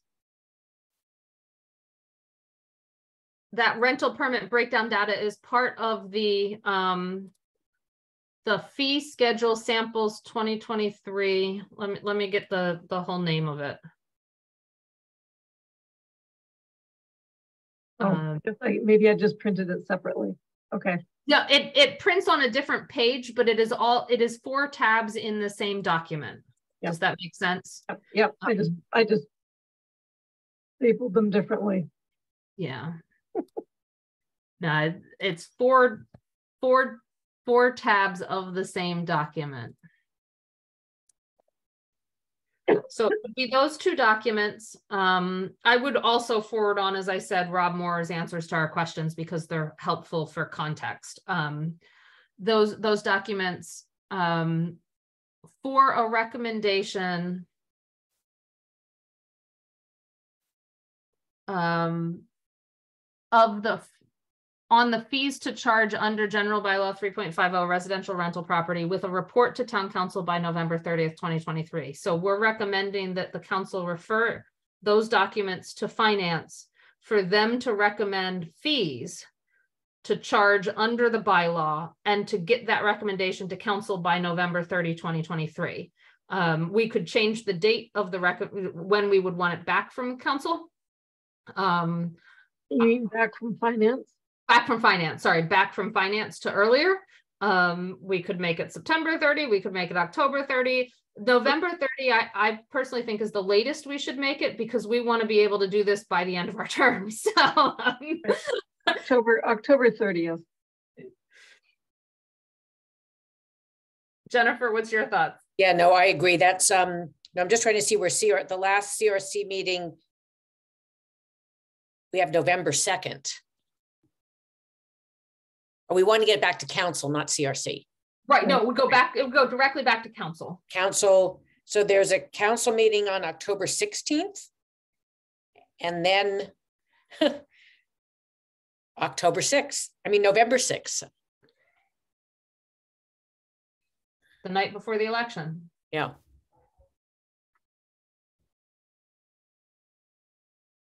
But yeah, there's not a council meeting on the thirtieth of October.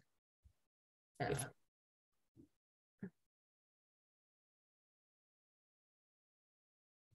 So we could say November sixth, we could say October sixteen. To October 16. I mean, Yeah, I think so too. finance isn't that busy this time of year. Right. We could make it next week. No, we couldn't. I don't think though, maybe be that given how we've struggled, I can't imagine they could do it in one meeting, but maybe they'll impress us.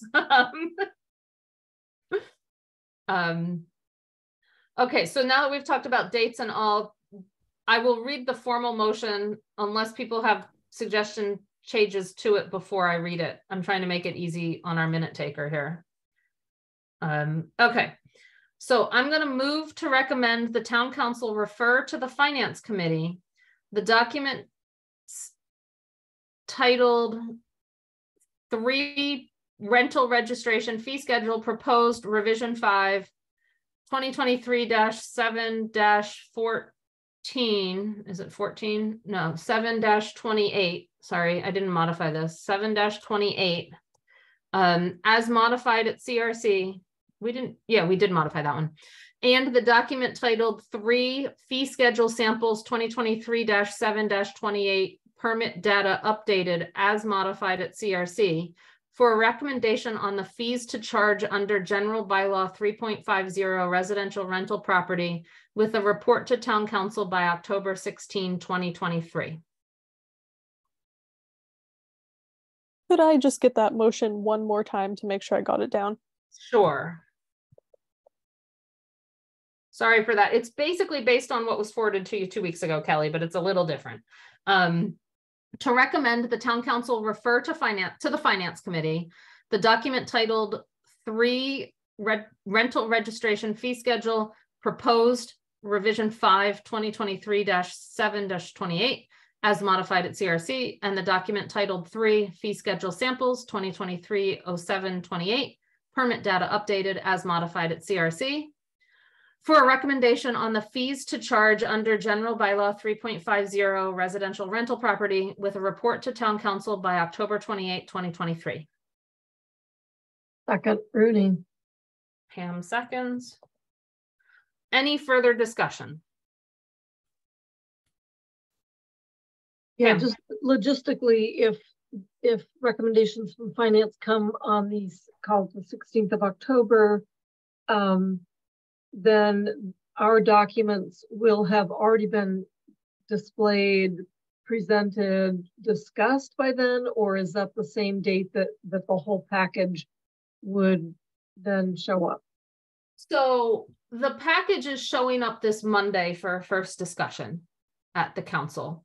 Um, one of the reasons I've promised Athena anything that happens tonight, she'll have tonight. Um, and what I don't know is what the council will do. I presume they may choose to refer the the bylaw and regulations to GOL because our rules require GOL to review it for clarity, consistency, and actionability um, prior to any action or us waive that review.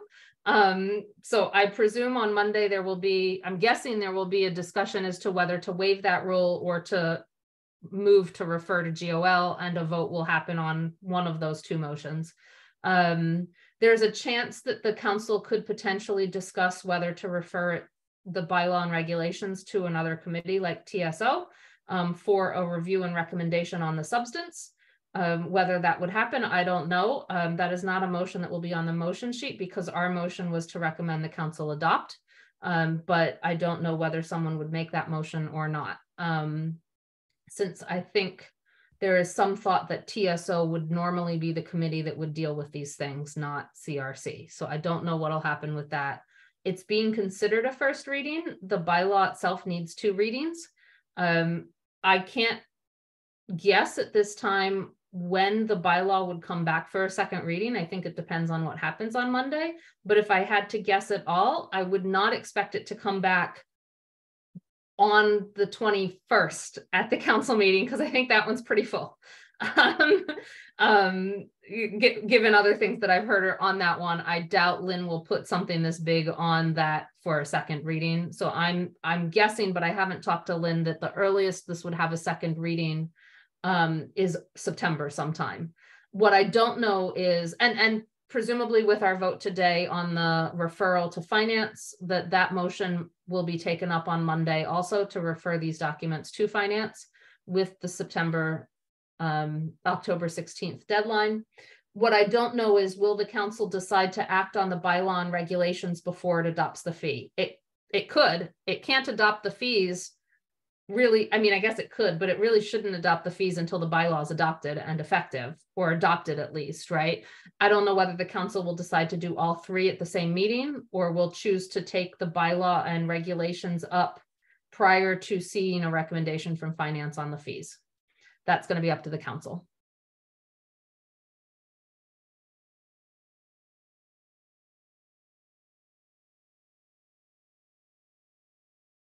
Did any of Did that all make sense? yeah. Okay. I'm just thinking about it. Yeah.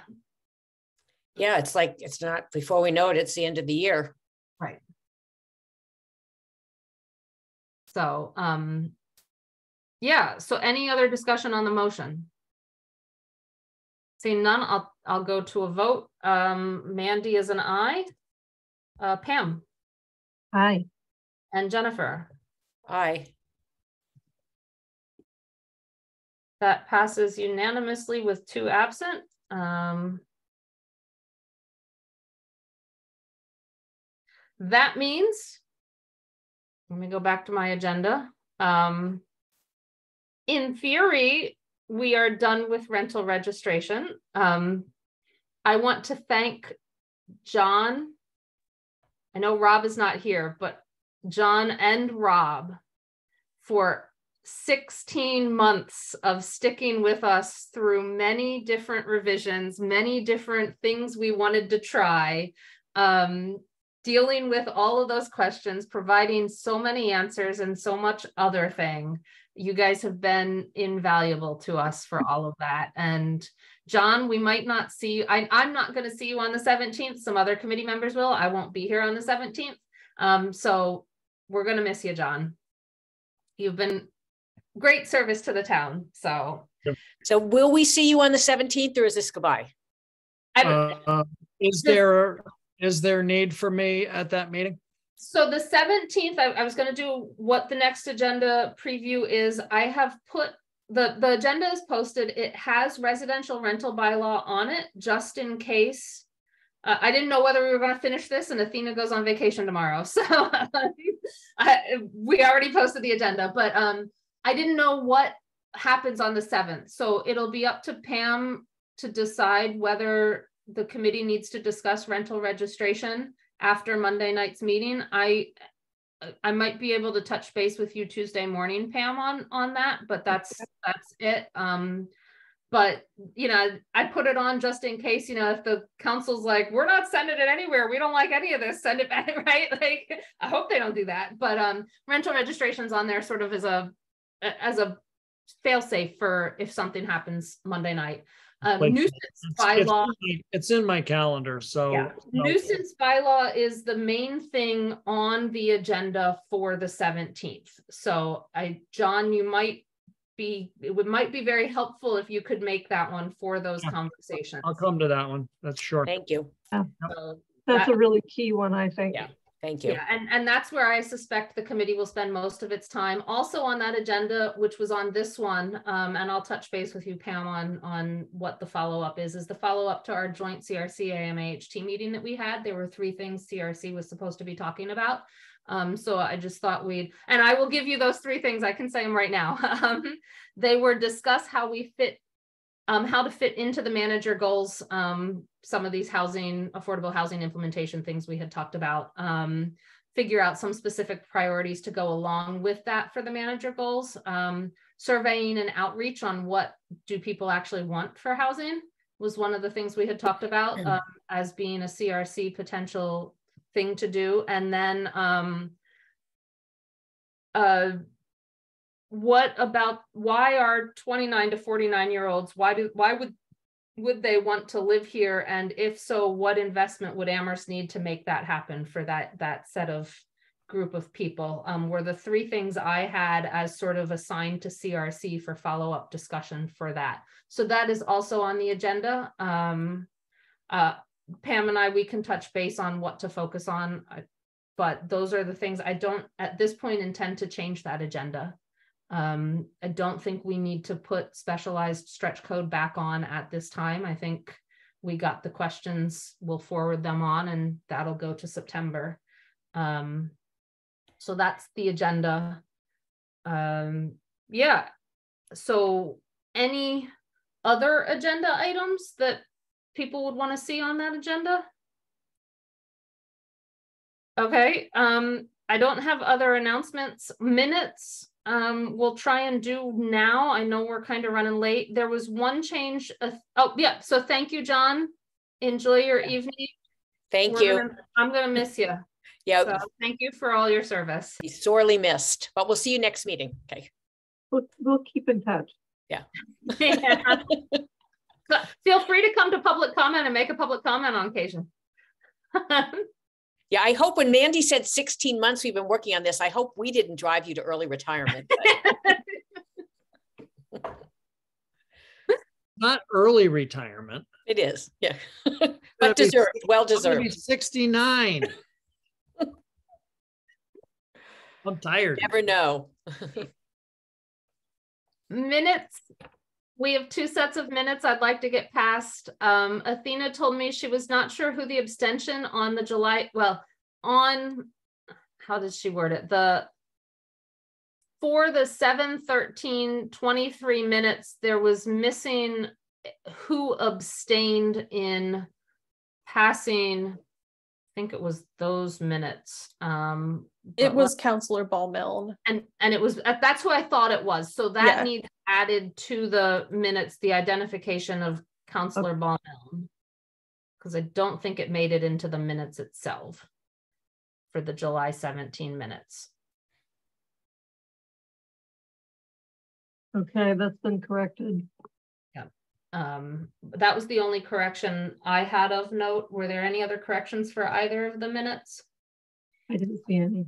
Okay, so I'll make the motion to adopt the July 13, 2023 minutes as amended and the July twentieth, twenty twenty-three minutes as presented. Is there a second? Second, Jennifer seconds. Any discussion? Uh, No. we'll vote. Pam, Uh, it's an I. Jennifer, yes. and Mandi is an I. That means we are ready to adjourn. I want to also thank uh, we're a short committee today, a small committee today, but the entire committee for its work over 16 months on this. I don't think, uh, we were originally supposed to report in December. I knew it was a very tight deadline to get it there. I didn't think it would, it, I wasn't sure we'd make that, but I didn't think we'd still be here in August. Um, but the discussions were great. We needed to do it. And I think it's going to be a huge improvement for the town and Yes, everything. and thank you for steering us through this, both of Pam and our chair and our vice chair. when when this committee makes unanimous recommendations, it's always an achievement. So we were able to work through our differences to to get there because we we definitely have them, but Yeah. but I think it's an achievement for this entire committee to. Yeah. And I felt good having, hearing John say he thinks that it's in a good place. Yeah, yeah. And Athena, have a good vacation. Oh, Yep. So- Thank you. And thank you, Kelly, for all your work. I don't know whether you'll cover our seventh, the August seventeenth meeting or not, but thank you. Oh, I'll be there. Have Kelly, have you Yeah. moved? So we have our new place, but none of our stuff has arrived yet. So we're staying at my partner's parents' house for the time being. Excellent. Yeah, good to have a place. Yeah, it's very nice staying here. So And- With that, Peter, I'm going to officially adjourn the meeting at six forty-two PM. Thank you for the extra time. Yeah, okay, bye-bye. Bye. Bye. Bye.